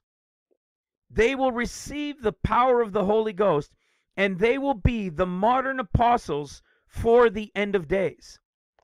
Then what happens? He leaves. And he returns what? After eight days again. Why? Because when he comes back on the eighth day, he's returning from the wedding. You following? So, what are we seeing in this picture of Revelation chapter 1? We're seeing another connection, just as the others we have proven. He's meeting with the Smyrna group first because Smyrna is the one he says he is the first and the last. Then the pre trib group is taken, and he comes back the same day at evening. He's going to give the apostles the Holy Ghost, for which to the apostles he says he is in the midst of the seven golden candlesticks. And then what do we know? Then the Lord is going to return after the wedding. He's going to be here for the 40 days, and then he is gone. Look at what we read next. In the seven churches. Okay? So now we understand this. He's going to meet with these first, just as we've revealed. Then he's going to meet with the apostles and anoint them. And then look at what happens when we read about Pergamum. It says in Revelation 2:12, and to the angel of the church in Pergamos write these things saith he which has the sharp sword with two edges. Now, what do we know about Pergamum? We know it represents about mid seals, we call it, about two and a half years in. Pergamum is a representation of the time when the Antichrist gets his power to continue 42 months. I know where Satan's seed is, there's martyrs, right? You hold the doctrine of Balaam. We've shown this within the, the in the book, in the seven churches breakdown, that Pergamum is a picture of when the Antichrist, who of which Constantine was a typology of, is when in Mark's discourse, when they flee to the wilderness. This is the time when Antichrist gets his power to continue 42 months. This is when they flee into the wilderness from Revelation 13, uh, uh, the mark of the beast coming, to Mark 13 when they flee into the wilderness. This is that time. And what did the Lord say about them? He told the church of Pergamum that the uh, these things saith he with the sharp sword with two edges. Well, is the Lord coming with his sword at Midish seals? No. We know he's not returning at mid seals with his sharp two edged sword to defeat the Antichrist and his enemies. We know he's not doing that till the end of seals. Till the end of the sixth year of seals, I should say. What do we see at the end of the sixth seal? We see everybody panicking, right? This is the end of the sixth year of seals. This is when he's coming on heavenly Mount Zion. Everybody's panicking. Hide us from the face of him who sits on the throne. Hide us from the face of him who sits on the throne and from the wrath of the Lamb, for the great day of his wrath has come. What do we know this period of time is? Well, let's go to Daniel chapter 7 and check this out. We see the, the four beasts. One is the lion, the bear, the leopard. We've explained what they are during the first half of seals. And then we see when the beast, the fourth beast being the Antichrist, when he gets that power to continue for 42 months, and we see that he has the 10 horns. You see? There, there's no more the, the, the mountains. He's now got the 10 horns. So now he is the beast of Revelation 13, stamping the residue with his feet, and he has the 10 horns. Just like Revelation 13. In Revelation 13, 1 or 2, it says, uh, the beast from the sea, which is this beast here. And what does he have? He has uh, uh, seven heads and ten horns. But we see that the crowns are no longer on the heads, but they are on the horns. This is when the ten horns are there. This is when he has power during the second half of seals, when he has his 42 months. Until what? Until Daniel 7, verse 9.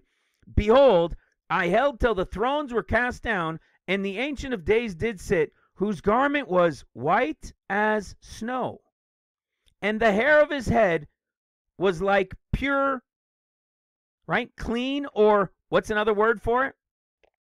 To make clean. We've shown that this make clean is the end of seals, right? For those who were during uh, uh, the time of seals, the, the sleeping church who had to be made clean. So pure and wool. Okay? His throne was like fiery flame, and his wheels as burning fire. And look at what we see. I beheld then, because of the voice of the great words of the horn which spake, I beheld even till the beast was slain. So he's there till the beast was killed, and the beast also was the one that had what? Ten horns. And the description is white as snow, uh, hair pure and wool. Now, watch what happens. We've explained this and broken this down many times over the years. We know this is the end of the sixth year of seals. So, if we go back to Revelation chapter 1, what do we read in the order? Well, first of all, we see that it's not the same order as we read in Revelation 2, and we've explained why with the first one, because we've been able to prove this out through Revelation. We know he's meeting with them, the, the remnant workers, the holy remnant, before he meets with the apostles. Then he meets with the apostles. Well, listen to what comes next. Revelation 1:14. His head and his hairs were white like wool, as white as snow. His eyes were as the flames of fire, and his feet were like unto fine brass. Now he's actually describing what he looks like. What do we get in Revel in Daniel chapter 7? We're getting a description of the Father coming and the Son being there. And when we go to the end of Revelation chapter 6, we're getting a description of him who sits on the throne and the wrath of the Lamb. So, what are we seeing here? We're seeing a picture of his coming. But what does it come before? Revel, uh, Revelation 1:16 when he's described as out of his mouth when a sharp two-edged sword. Look what happens when we go into Revelation 2. We understand Ephesus. We understand Smyrna. When we got to Pergamum, he describes being a sharp two-edged sword before his coming. Look at what he describes for Thyatira. In Thyatira, Revelation 2:18, he says, "Thus uh, these things saith the Son of God, who has his eyes like unto a flame of fire, and his feet like fine brass." Why on earth isn't this for Pergamum and Pergamum down here for Thyatira? Because you see, as we've revealed, when he comes with the sharp two edged sword, he has to do what? He has to come first. He has to show up first before he can use his sword against who? The beast. The beast. This sword that he's going to use is in a reverse order because if he put it down here at Thyatira, we know that Thyatira, the reason for the layout of the seven churches, how you see them in Revelation chapter 2 and 3, you have Ephesus, Smyrna, Pergamum, and Thyatira. That's to the end of six years of seals. Then what do you get? In chapter 3, you get Sardis, which is the seventh year when the Lord is here. Then you have Philadelphia when the 144,000 go out in the first half of trumpets. And then you get Laodicea, which is mid trumpets, uh, mid trumpet judgments, about 10 and a half years into tribulation until the end of the 14 years or the end of 13 years of tribulation. This is this is laid out with four and then three six years of seals, the Lord coming for the seventh, and then the seven years of trumpets time. It's the layout of the end of days. So in in chapter 2, if he had told Pergamum that he is the one with eyes of flame and, and feet as brass, and told Pergamum that he was the that they were uh, he was sorry flames of fire and feet as brass, and that the sharp two edged sword was for Thyatira, then these people would be, uh, Lord, what's going on? Because it's not meant for that church, because this one, the sword is coming against the beast, who is the one who got his power to continue 42 months at about midish seals. He's bringing his judgment on him and those who are with him, which are the ten horns. So when we see the order, in Revelation chapter 1. He's told us the order of the seven churches in chapter 2. He's meeting with his remnant workers of Smyrna first before he takes the pre trib. Then he's meeting with the apostles that he will anoint and breathe on. Then he's going to be coming when he returns with heavenly Mount Zion at the end of six years of seals. And when he does, he's going to be with his sharp two edged sword to destroy the enemy. Remember in Luke, in Luke chapter 22, a story I haven't shared in a long time, but it was one of my favorites. It always gives me a smile to read it because we have this this very strange story, and I don't know that anybody has fully understood it before until you understood the end of days and how it plays out. He tells them, um, uh, you know, to get their garments. Uh, da, da, da. Let's start in verse 36. Luke 22, 36 through 38. Then said he unto them, but now he that hath a purse, let him take it, and likewise his script. And he that hath no sword, let him sell his garment and buy one. For I say unto you that this is that that this that is written must yet be accomplished in me. And he was reckoned among the transgressors. For the things concerning me have an end. And they said, Lord, behold, here are two swords. and he said unto them, That's enough. He just told a group of people, everybody who doesn't have a sword, sell what you got, sell your clothes, go get a sword. And it's like a group of them are standing there like, hey, you got a sword? No, I don't got one. You got one? No, I don't. No, I got one. I got one. Oh, do you got one? Hey, Bill, you got a sword? No. Hey, Steve, you got it? Yeah, I got one. So, uh, Lord, we've got two swords. All right, that's enough. It's the strangest story until you realize the end of days, the Lord has two battles. We've revealed it from, again, a number of places, of which one is proven out to us in Zechariah chapter 2, uh, chapter 14, verse 2. For I will gather all nations against Jerusalem to battle, and the city shall be taken, and the houses rifled, and the women ravished, and half the city shall go forth into captivity, and the residue of the people shall not be cut off from the city. Now listen to this. Then shall the Lord go forth and fight against those nations as when. Past tense. As when he fought in the day of battle. Okay? Not this battle. This is the one that he's going to do at the end of tribulation, at the, in that 14th year. This is that battle. But he's telling us in verse 3 that there was a battle that came first. This battle that came first is the one at the end of six years of seals. This is the one of the Ezekiel 39 war. The Ezekiel 39 war is not the beginning of tribulation. It is, even when people see, I mean, the pre trib will be gone, and then bang, uh, northern Israel is going to be attacked. There'll be a short Middle East war, and people will probably still think it's the Ezekiel 39 war. It is not. The Ezekiel 39 war will not happen till the end of the six years of seals, and it's the one that he fought. It's the one that we see in Daniel 7 when the when the beast is first killed.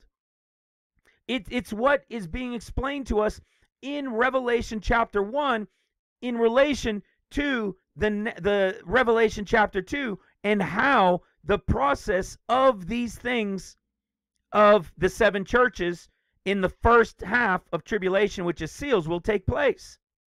So, how do we know this and how have we been able to prove it?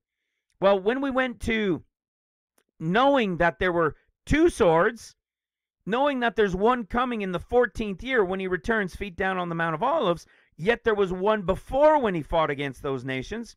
We've proven in the chapters to years that it's Ezekiel 39. But what else have we done?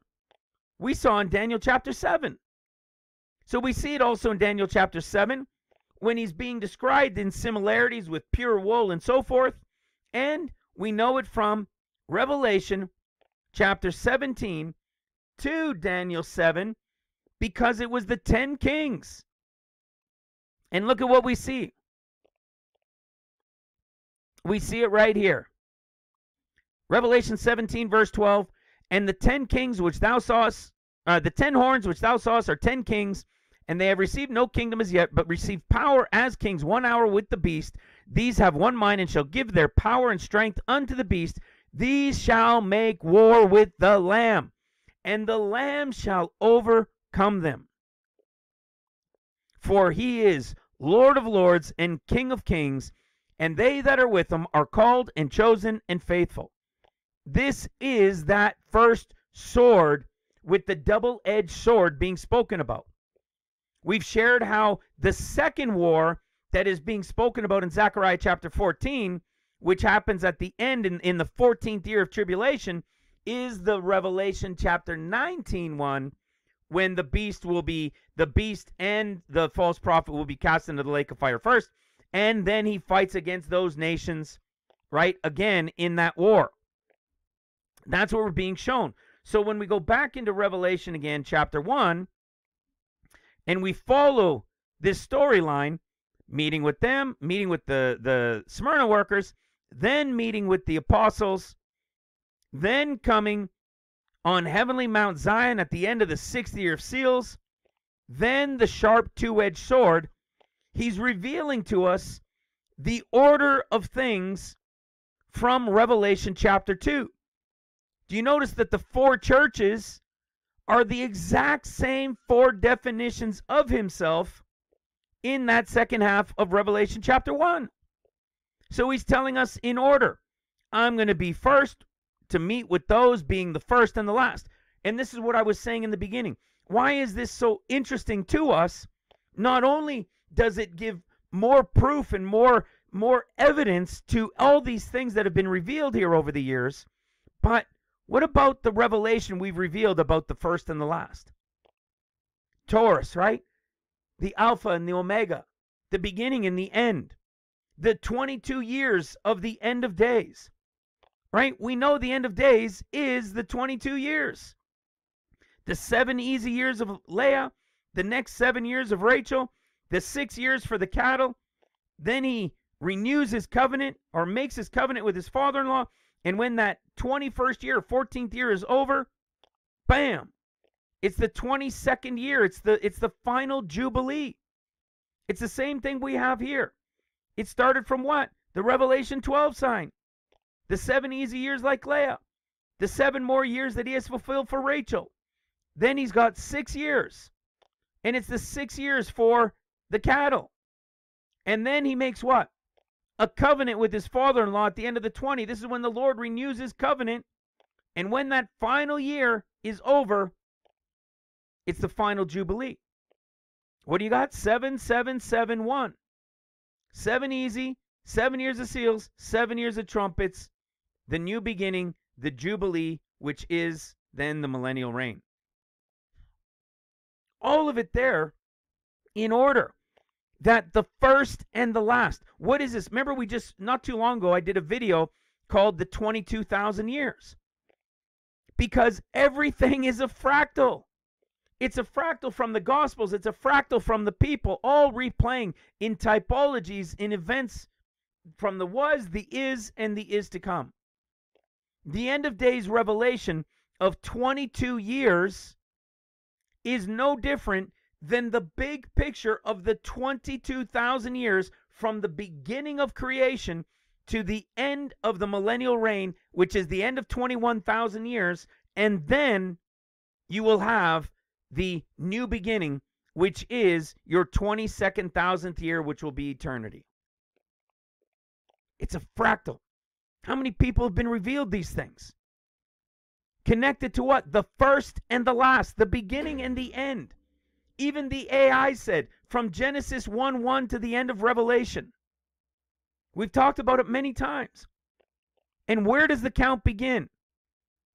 Exactly as we've spoken about, as the Holy Ghost has confirmed to us, that one thing that the Holy Ghost has given in a, in a confirmation. As it was in the beginning, so shall it be in the end. Taurus is the beginning of the count. So this is what we're seeing. He's meeting with this group first. Then he's meeting with the apostles. And then what happens? Then he's going to be bringing the sword against the beast at the end when he comes as the one with fiery eyes and feet of brass, which is at the end of what? The sixth year of seals, which is precisely the time spoken of at the end of Thyatira when it says in verse 22 uh 227 and he shall rule them with a rod of iron why does it say at this point he's going to rule them with a rod of iron because as you know from revelation chapter 12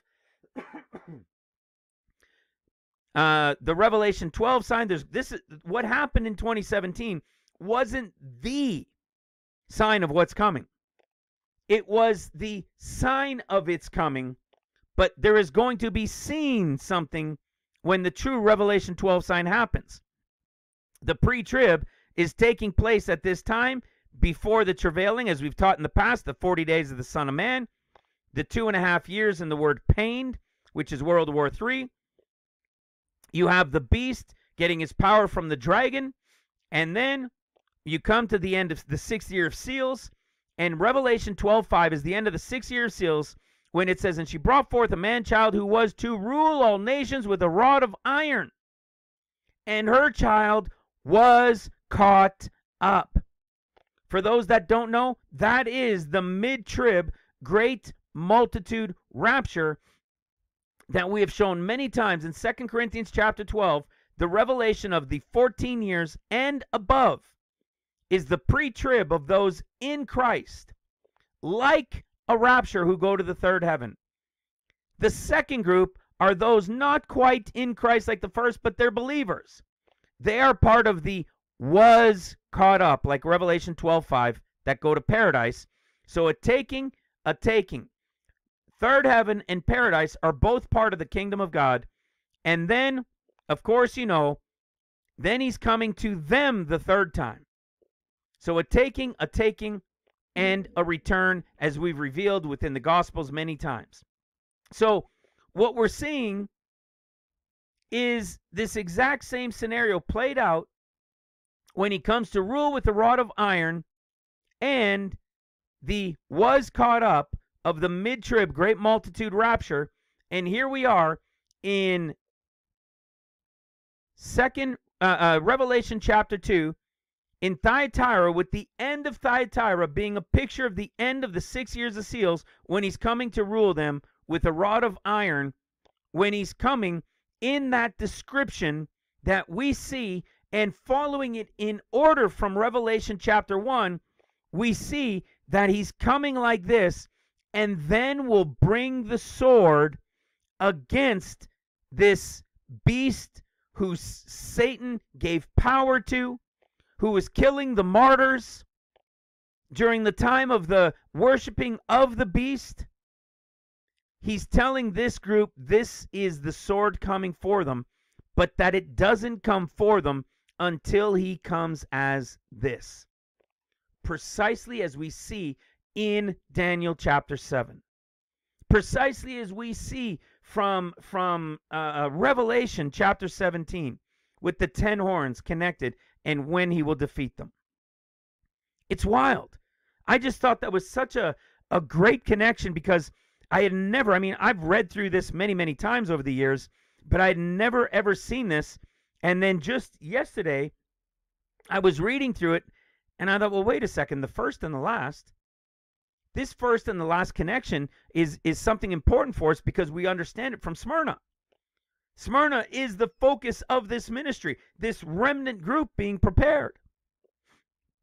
And that's what he called to that group. And lo and behold, look at how he calls them. Look at how it's laid out. I'm the Alpha Omega, the first and the last, and what thou shalt see, write in a book and send it to the seven churches. And then he describes the seven churches. It's the same thing that I was saying earlier. It's like being at the end of Laodicea. And he's going to talk with the Smyrna group first. And then it's going to start the seven churches over again. So he's talking with them first, and then it's the conversation to the seven churches, for which the second one he he's already forewarned. It's awesome.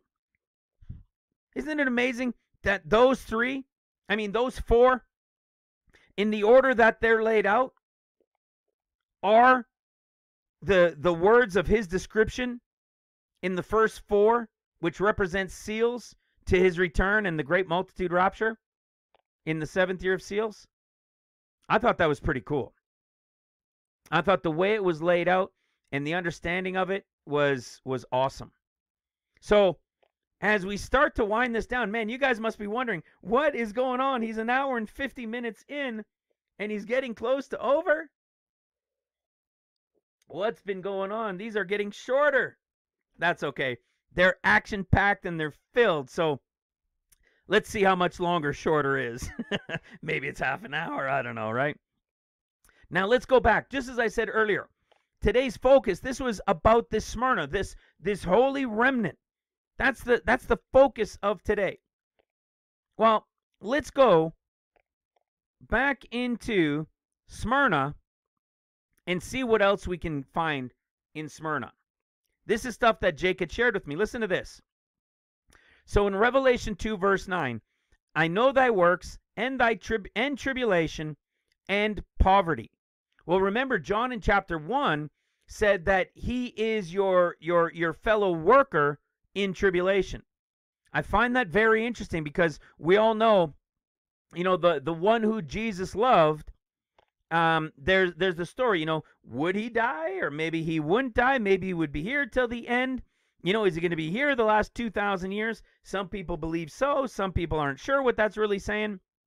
Well, I believe if he was, I may have met him. Right? We've talked about that in the past, but we even see it in Revelation chapter ten when after he's seen all these things and the mystery is over, John had to eat the little book, eat the little book, and then in Revelation 10 11, it says, And he said unto me, Thou must prophesy again before many people and nations and tongues and kings. So this really seems like a connection to the one who Jesus loved that Peter had overheard and that he wouldn't die.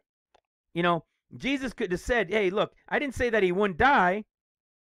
You see? But it could still be that he wouldn't die right away. So it's very, very interesting. And then, of course, we see that from chapter one, your your partner in tribulation.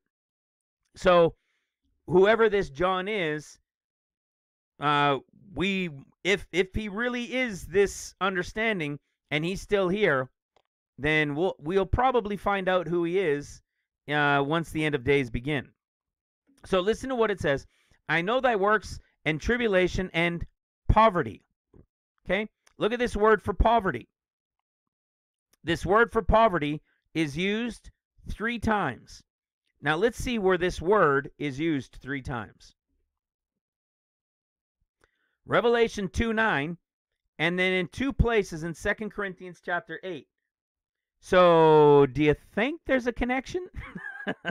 it, it's it's pretty obvious, isn't it?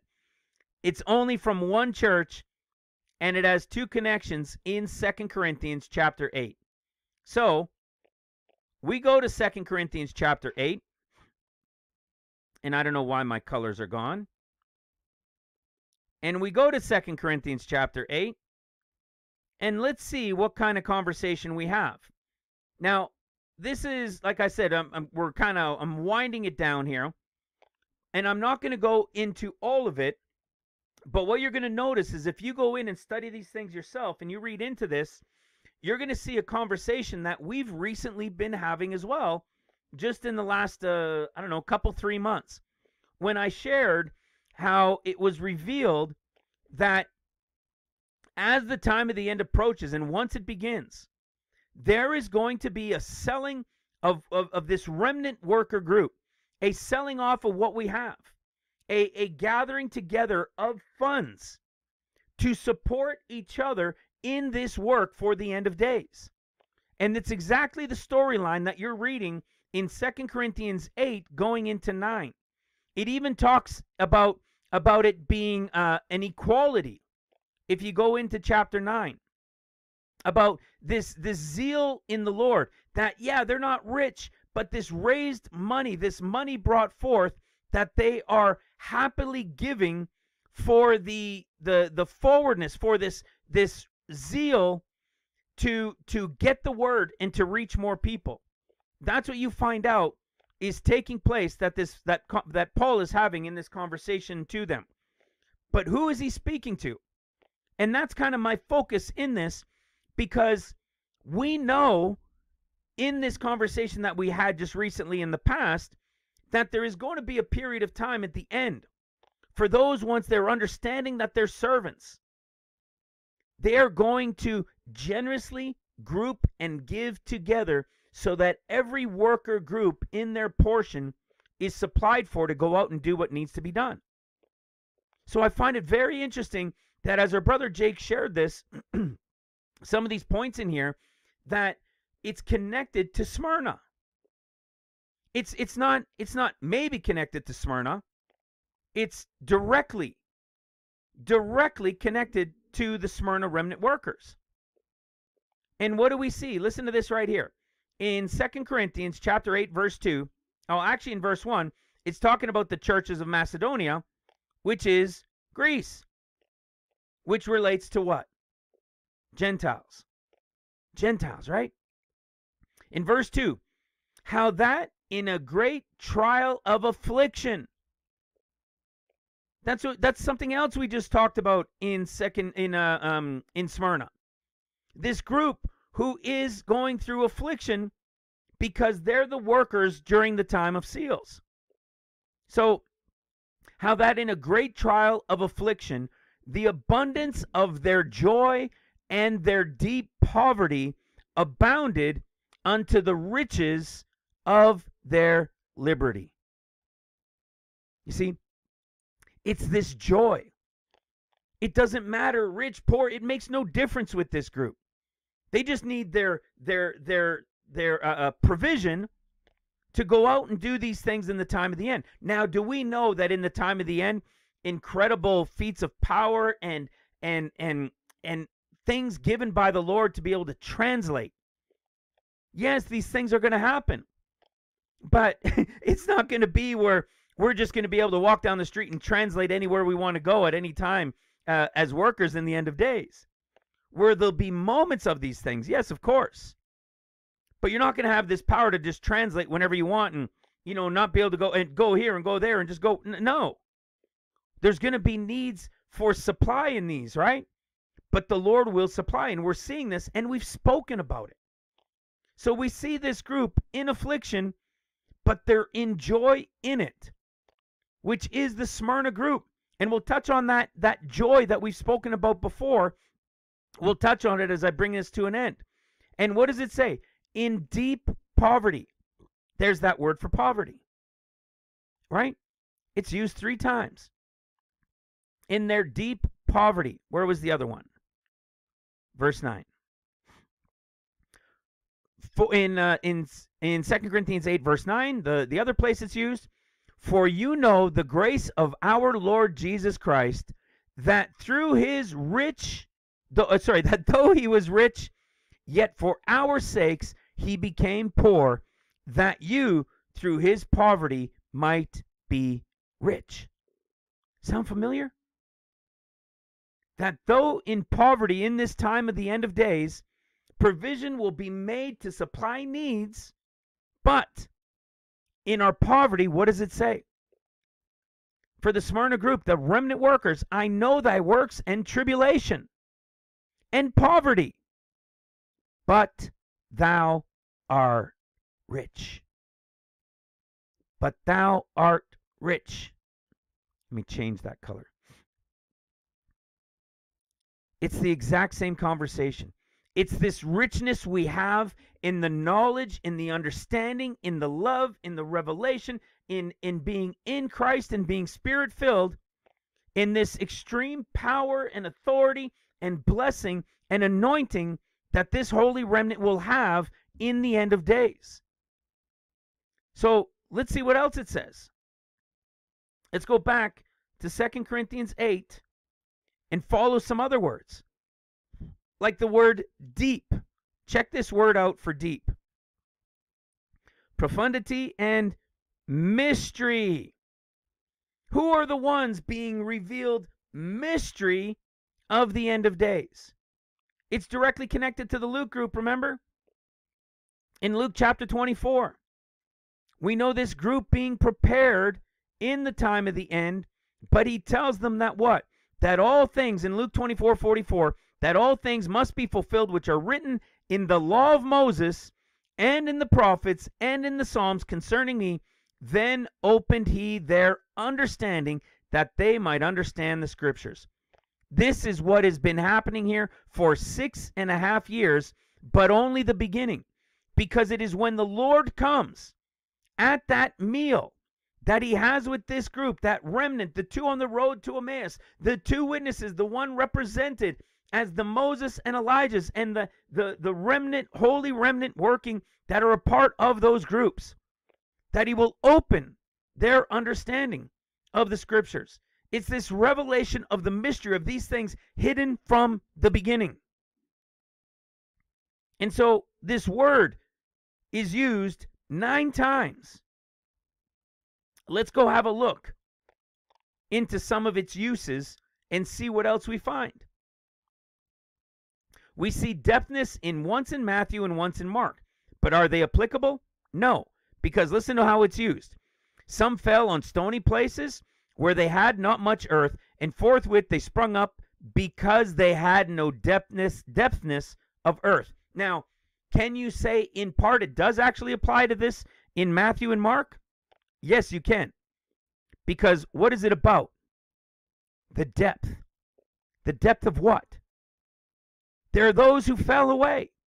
It's it's the conversation of those falling away in Matthew and falling away in Mark because they didn't have enough what? depth. They didn't have enough depth. What is the word for depth? Mystery. They didn't they didn't have enough of the of the depth of understanding of the Lord and they fell away. So in in a sense, you are having this those who are falling away, but this depthness of earth is because those who do have the depth are the ones being received, are the ones being used, are the ones being revealed the mysteries. So now look what happens when we come to Luke chapter 5, verse 4. Check this one out.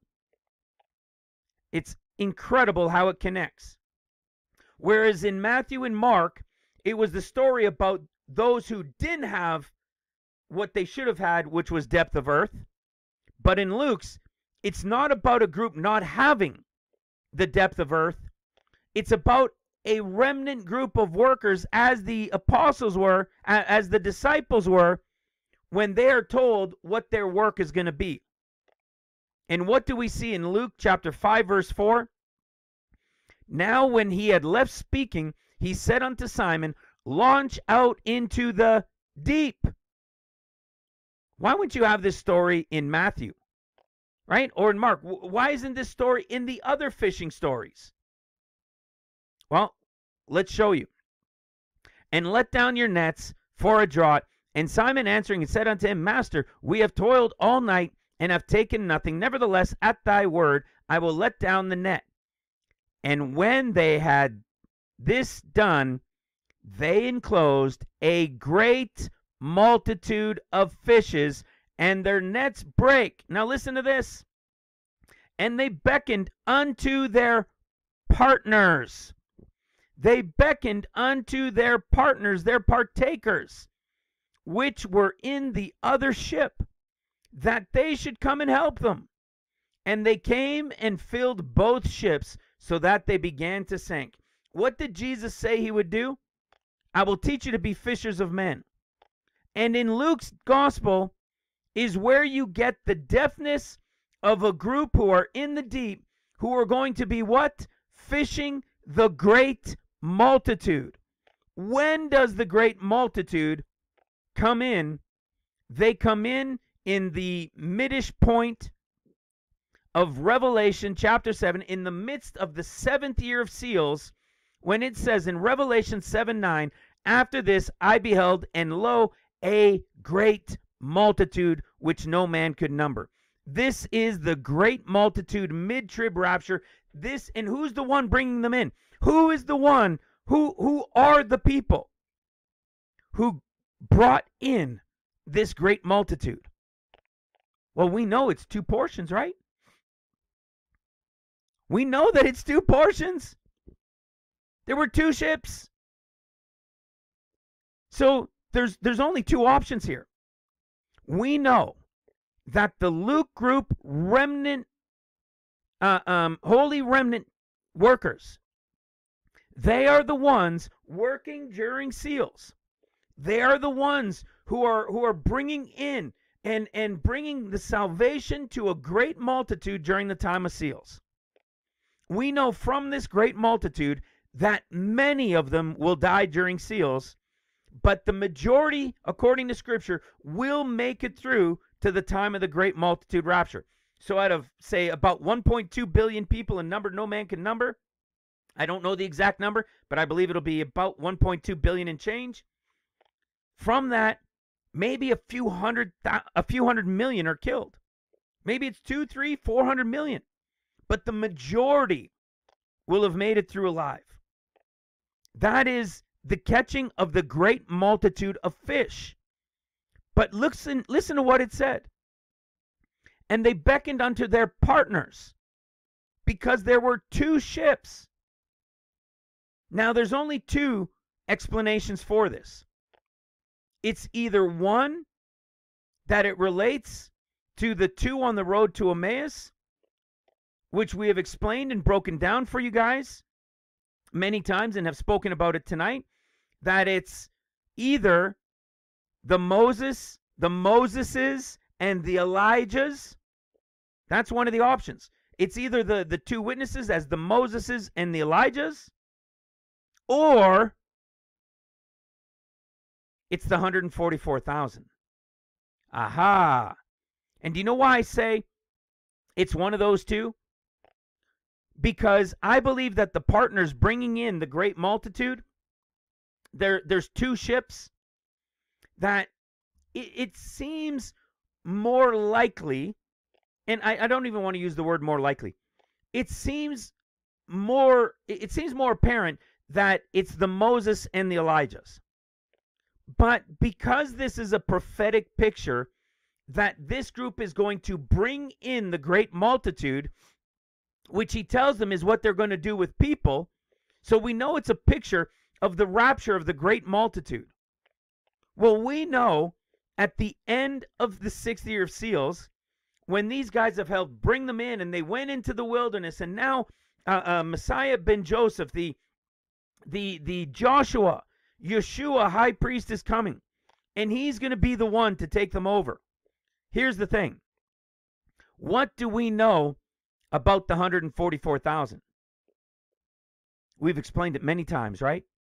The 144,000 are sealed before the great multitude rapture because I believe they are our partners, our partakers with us this first group, this first boat, and those in it, I believe more likely, even though it seems like it's the Moses and the Elijahs, and it's one group and then they're coming to help, I don't think it actually fits that. Because the great multitude rapture, which is at the end of six years of seals in the seventh year, it's, I believe, the Moses and Elijahs representing the boat that Simon is in is is that group of workers which are the Smyrna remnant. They've already done their work. But remember what scriptures tell us that they need to call for help because just like David said, uh, uh, David Wilkerson, he said the same thing in saying that it is a small remnant. We know that they're going to need help to bring in such a great multitude. So I believe what we're really seeing here in this partnership is a picture of the Smyrna, Elijah, Moses, John the Baptist group of workers who caught this great multitude and they are calling to their partners in another boat, which are the 144,000, to help bring them in. And you know what's so great about that? Is we've taught that before. And we could show it if we go into Luke chapter 10 it's exactly where we see the storyline. starting in verse 1 After these things, the Lord appointed other 70 also and sent them out two by two before his face. This is a picture, I believe, of the 144,000 that are being sent out at the end of seals into every city and place whither he himself would come. Therefore said he unto them, The harvest is truly great, but the laborers are few. Okay, or you could say, yeah, I guess the hunt, the the the workers during seals that are calling for laborers to come in. Okay, therefore said he unto them, The harvest truly is great. It's a picture of the great multitude, but the laborers are few because it was a few in this remnant that were working during seals. And they need the help of the 144,000 to bring in this great multitude. And it says, Pray ye therefore to the Lord of the harvest that he should send forth laborers into his harvest. We've shared on this before how I believe this is directly related to the 144,000 coming in to help.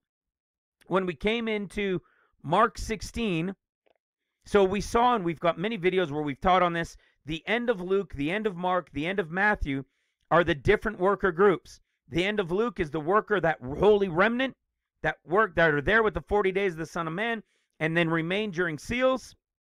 Then Mark, the end of Mark is like being at the end of six years of seals, and the Lord has come he unbraids. You see, you've got the two that he now appears to in another form, which represent the seals workers, and then he unbraids on the picture of those representing the 144,000. And what does it say to them? What does he say to them? Go ye into all the world and preach the gospel to every creature. He's helping. This is the 144 helping bring in the creature creation, which is the great multitude rapture. And he that believe believeth is baptized shall be saved, and he that believe not shall be damned. These signs shall follow them. What are they going to do? They're going to take. Uh, they're going to cast out devils, and then they're going to be able to take up serpents. If any deadly thing, uh, it shall not hurt them. This is when the 144 will be anointed at mid trumpets when the Lord is cut off because the pit is open.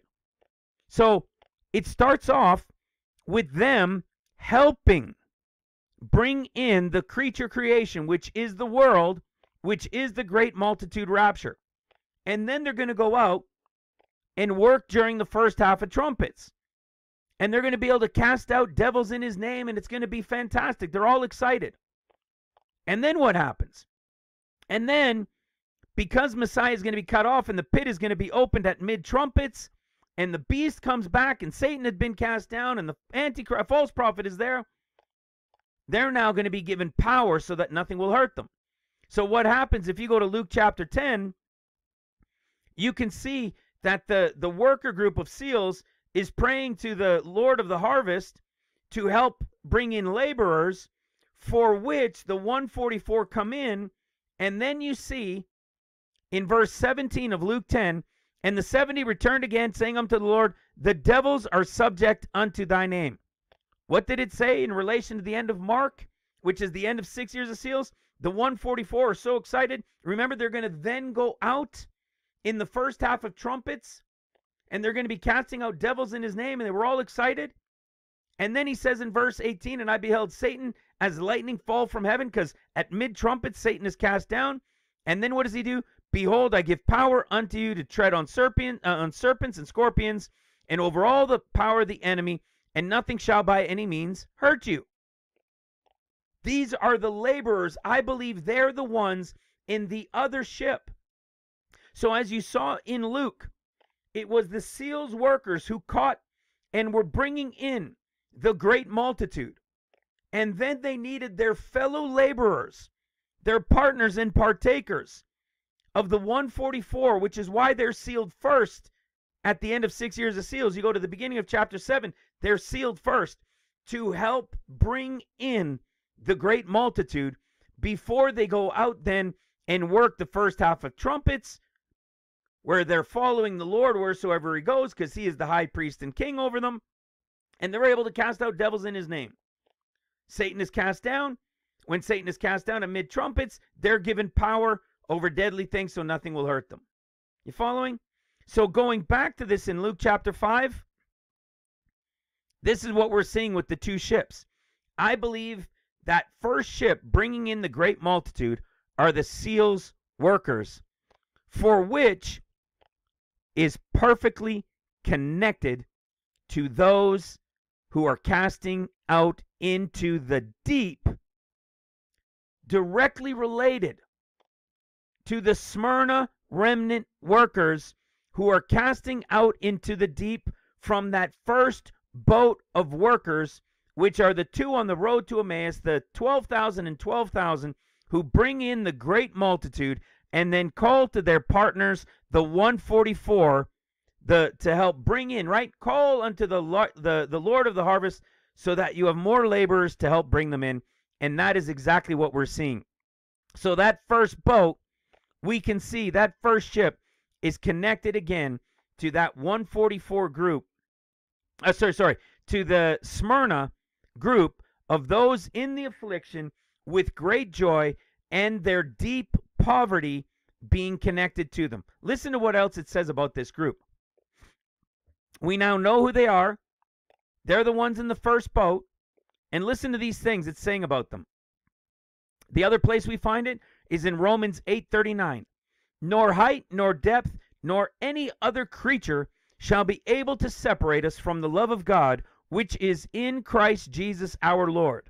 Romans 11:33 Oh the depth of the riches both of wisdom and knowledge of God how unsearchable are his judgments and his ways past finding out 1 Corinthians 2:10 but the Lord has revealed them unto us by his Spirit. Hello. For the Spirit searches all things, yea, the deep things of God. All related to this group. Brothers and sisters, this group is this same group we've been talking about over the years and have been revealing in greater and greater and greater depth. And as I bring it to a close finally, yes, for real. We see this from this famous part that we've talked about many times in first Peter 1. Peter, an apostle of Jesus Christ, to the strangers. To the strangers. This is the Gentiles. For which we are told in 1 Peter 1 4, to an inheritance incorruptible and undefiled, and that fades not away, reserved in heaven for you who are kept by the power of God through faith unto salvation, ready to be revealed in the last time, which means ready to be revealed in the end of days. Wherein what? You greatly rejoice, though now for a season, if need be, you are in heaviness through manifold temptations, that the trial of your life, being more precious than of gold that perishes, though it be tried with fire, might be found unto praise and honor and glory at the appearing 602 wait a second. Wait a second. At the what? At the revelation. Greek 602 at the revelation of Jesus Christ, which God gave unto him to show unto his servants the things which must shortly come to pass. And he sent and signify it, signified this by his angel unto his servant John. At what? At the revelation of Jesus Christ, to show his servants the things which must soon come to pass. Who is this group? Smyrna! Sorry if I scared you. Smyrna! It's the two on the road to Emmaus typology. It's the same thing we've been saying the whole time. At his revelation, which is when he comes to reveal it to his servants, his Gentile servants, who have been kept by the power of God to be revealed at the last time. And it will come when it is the appearing of Christ Jesus to make it known to his servants, whom having not seen, you love, in whom though now you see him not, yet believe, you rejoice with joy unspeakable and full of glory. What happens at the appearing of him to this remnant server group? Receiving the end of your faith, even the salvation of your souls. Hello. This is that group. This is that group. That's such a powerful piece of scripture when you understand this this remnant group, this holy remnant Gentile group for the end of days. They were those of the foreknowledge of God the Father, prepared with an inheritance reserved in heaven for them, that are being kept by the power of God for the time of the end when they will be revealed. When Christ will come to them and appear to them to reveal his revelation. It doesn't get any more clear. We saw this same story in Acts 15. In Acts 15, again, our chapters to years, it's that beginning. When it says, um, Acts 15 6, and the apostles and elders came together for to consider this matter. And it talks about the Gentiles so let's start in verse 7. And then, uh, sorry, and when there had been much disputing, Peter rose up and said unto them, Men and brethren, you know how that a good while ago God made choice among us that the Gentiles by my mouth should hear the word of the gospel and believe. And God, which knoweth their the hearts, bear them witness, giving them the Holy Ghost, even as he did unto us. All right, because they're going to be receiving it at the anointing at the end of 50 days. And put no difference between us and them. Who? The Gentiles. Purifying their hearts by faith. Why tempt you to put the burden of yoke upon the disciples, which neither our fathers nor we were able to bear? It's all about they. It's all about the, the, the Gentiles. Verse 12. Then all the multitude kept silence and gave audience to Barnabas and Paul, declaring what miracles and wonders God had made, uh, God had wrought among the Gentiles by them. Remember how he's going to be with them during the 40 days. Then we see in 14, Simeon hath declared how God at the first did visit the Gentiles. That's what this has all been about.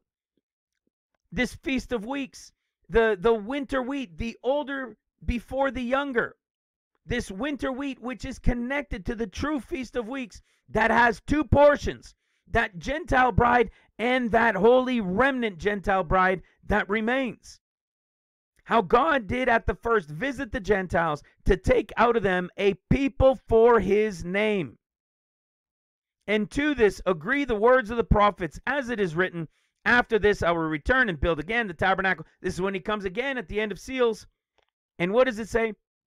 That he took out of them a people for his name. What did we just read in First Peter? It's a people for God, right? For his elect. Elect according, so the strangers, the Gentiles, elect according to the foreknowledge of God the Father through the sanctification of the Spirit unto obedience and the sprinkling of the blood of Christ Jesus, grace unto you and peace be multiplied.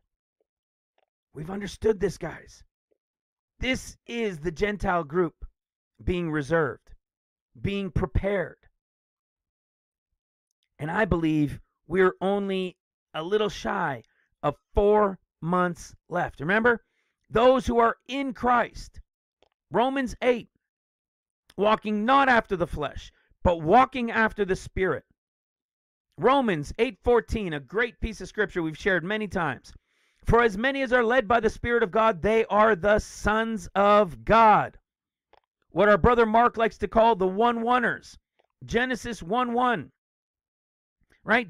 That's that's that first creation 1-1 into 1-2.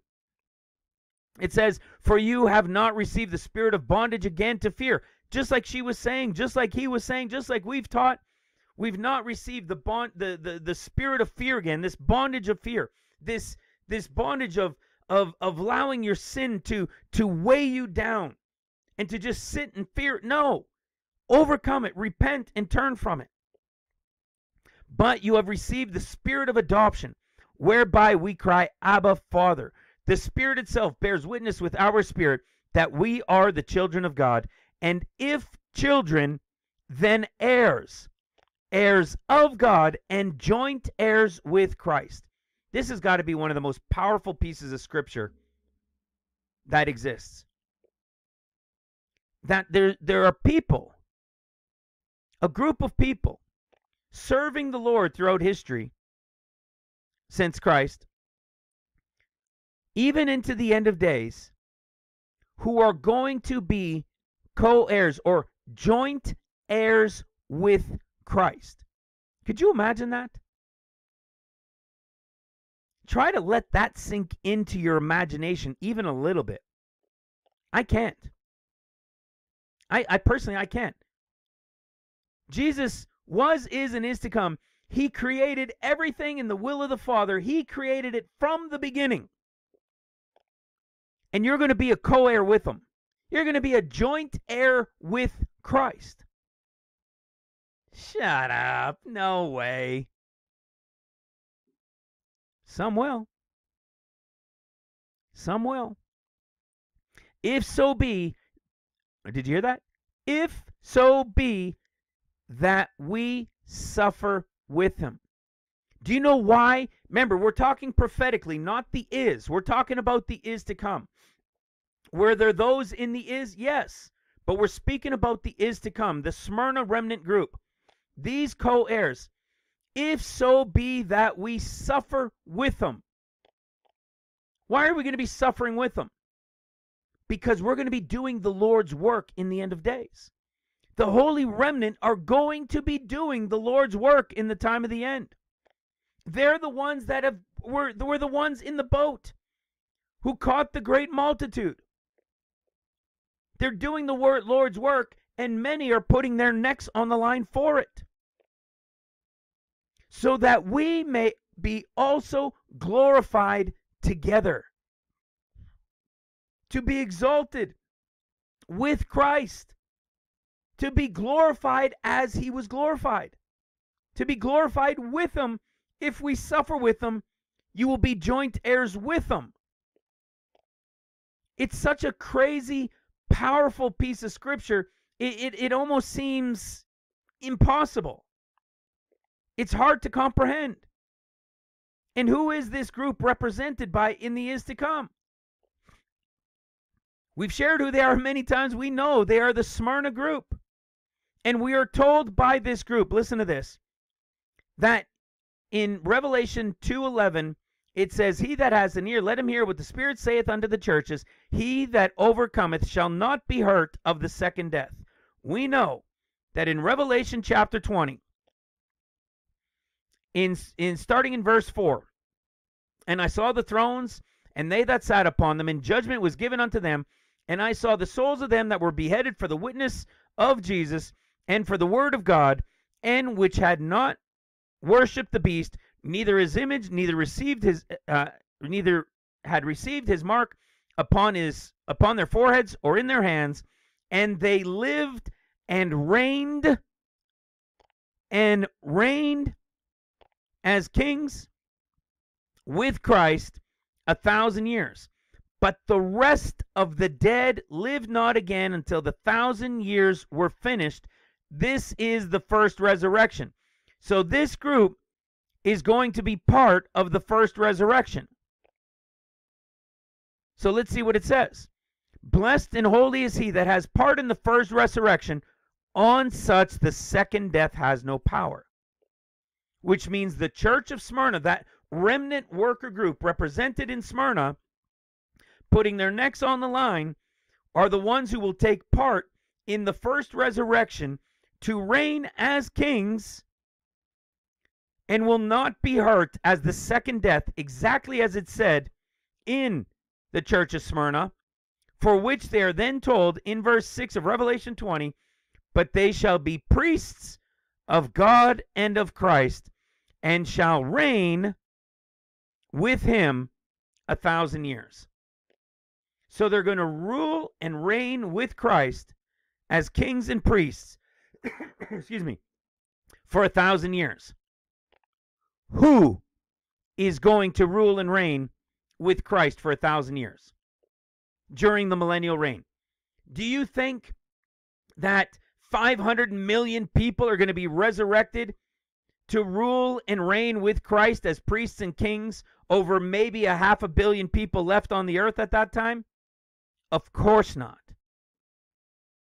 It is directed to a specific group of remnant workers, of those from the is, but we're speaking specifically of those in the is to come who are the spirit filled sons of God in Christ, who will be joint heirs if they suffer with him to be glorified together with him. We see that they will be kings and priests, ruling and reigning with him during the millennial reign. Now, you remember how we started this with with the church of Laodicea. And the church of Laodicea, as in the is that we're in, comes to an end. He meets with the Smyrna group, holy remnant first, as we showed. And when he does, we know it's about him knocking and coming to eat and serve them, as it all begins at the very beginning when he said, Be ready and girded about in Luke 12 when I return from the wedding, because it's the group for which he said he is the first and the last, and that came first. When the churches, the seven churches of the end of days, play out in the literal is to come end of days and the Laodicean church, the 13th to the 14 years of tribulation, come to an end? What did we just see about those who will be resurrected to rule and reign with Christ a thousand years? If you notice where Revelation 20 is, it's when Satan was defeated and bound. If you go to Revelation 19 and follow the storyline, you see the Lord coming to make war again because this is the Zechariah chapter 14, verse 12 war. This is the second one when he comes with the treading of the grapes. And he has a sharp sword, right? Because he's going to fight them again, those nations, and defeat them in the treading of the winepress of the wrath of Almighty God. And what does he do? He takes the beast and the false prophet, and they're cast alive first into the lake of fire. And then what happens? Satan is defeated, Satan is captured, he's bound and thrown into the pit where his thousand years will begin. And then what happens? The thousand years of the millennial reign of the Lord begins. And when it starts, he will resurrect those who will take part with them as kings and priests, ruling and reigning with them. So when you go, as it started, because we're at the end of the age of Laodicea, and we know that he's going to meet with them and forewarn them that he, when he returns from the wedding, well, when the Laodicean age comes to a complete end, and the tribulation is over, what do we know happens? A group is going to be resurrected to rule and reign with him with as kings and priests. Well, look at how Revelation 3:21 ends. To him that overcometh I will grant to sit with me in my throne. Who sits in a throne? A king. Who is being resurrected as kings and priests? Smyrna. How did the 14 years and above start? With Smyrna. When the 14 years and above are over, how does it end?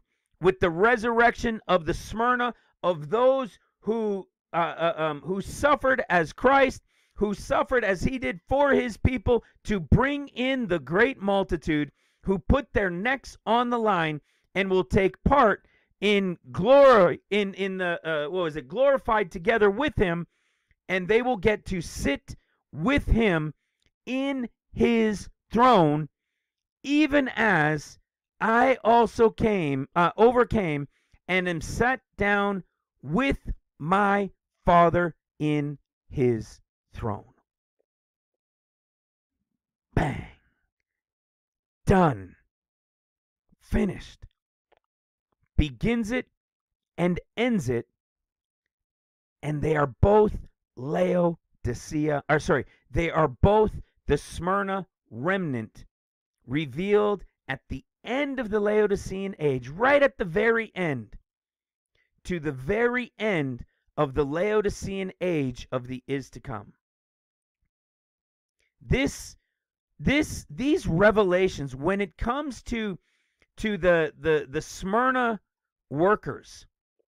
I want you guys to know how important these brothers and sisters are. How how incredibly powerful this time is going to be. The authority that will be given, the the revelation that will be given by Christ directly and the power and authority that will be given by the Holy Ghost. This is going to be beyond anything any of us could even fathom. But we will be rock solid. If you're one of them, if we are some of them, this is a powerful, powerful, very important special group that the Father had preordained from before the foundations of the world. It's crazy to even wrap your mind around it. To think that that us little, I'll say, you know, a lack of a better term, us little peons, if you will. I haven't said that in years, you know, but just us us fleshly nothings, us us pieces of dirt. But it's not about our flesh. It's about being in Christ, spirit filled. It's about the Father's choice, choosing who He will. And He will give us the strength, He will give us the power, the authority, and do so in Christ to take it through right to the end. All of this was about the holy remnant, guys. A very, very powerful group of people chosen by the Lord, nothing to do with us. As I've said before, I'm not even saying it is for sure us. But the evidence from Scripture and the revelation of it has never been revealed before is the evidence of a group being prepared. That is why I continue to share it. That is why I continue to prepare. That is why I continue to bring about every part and piece of revelation that I come to understand that will strengthen us and, and draw us in closer and get us digging deeper and deeper and deeper until that time comes. Because, brothers and sisters, I do believe with all of my heart that we are here, that we have about four months to go we know the 14 years begins at the Feast of Trumpets. We've revealed how the 50 days come first, and the Revelation 12 sign will have been exactly seven years ago to this Feast of Trumpets. I didn't make this count up. I just followed a count from Scripture. And how many years do we know there are for the end of days? 14 and the 15th being the Jubilee. Right in line. So, brothers and sisters, with that, we are in some crazy exciting times. I believe we are going to continue to see more and more activity, more and more things happen, more attacks. And, and let's not forget, we are not dismissing this eclipse sign and, and the comet that was behind and all of these things. They're signs for us to be aware of. However, being aware of it, we are already in Him. We are diligently seeking and diligently in Him. And we will continue to do so until. So let's keep diligently seeking. Let's keep lifting each other up. Let's keep strengthening each other. Let's keep supporting each other. Let's keep praying over each other.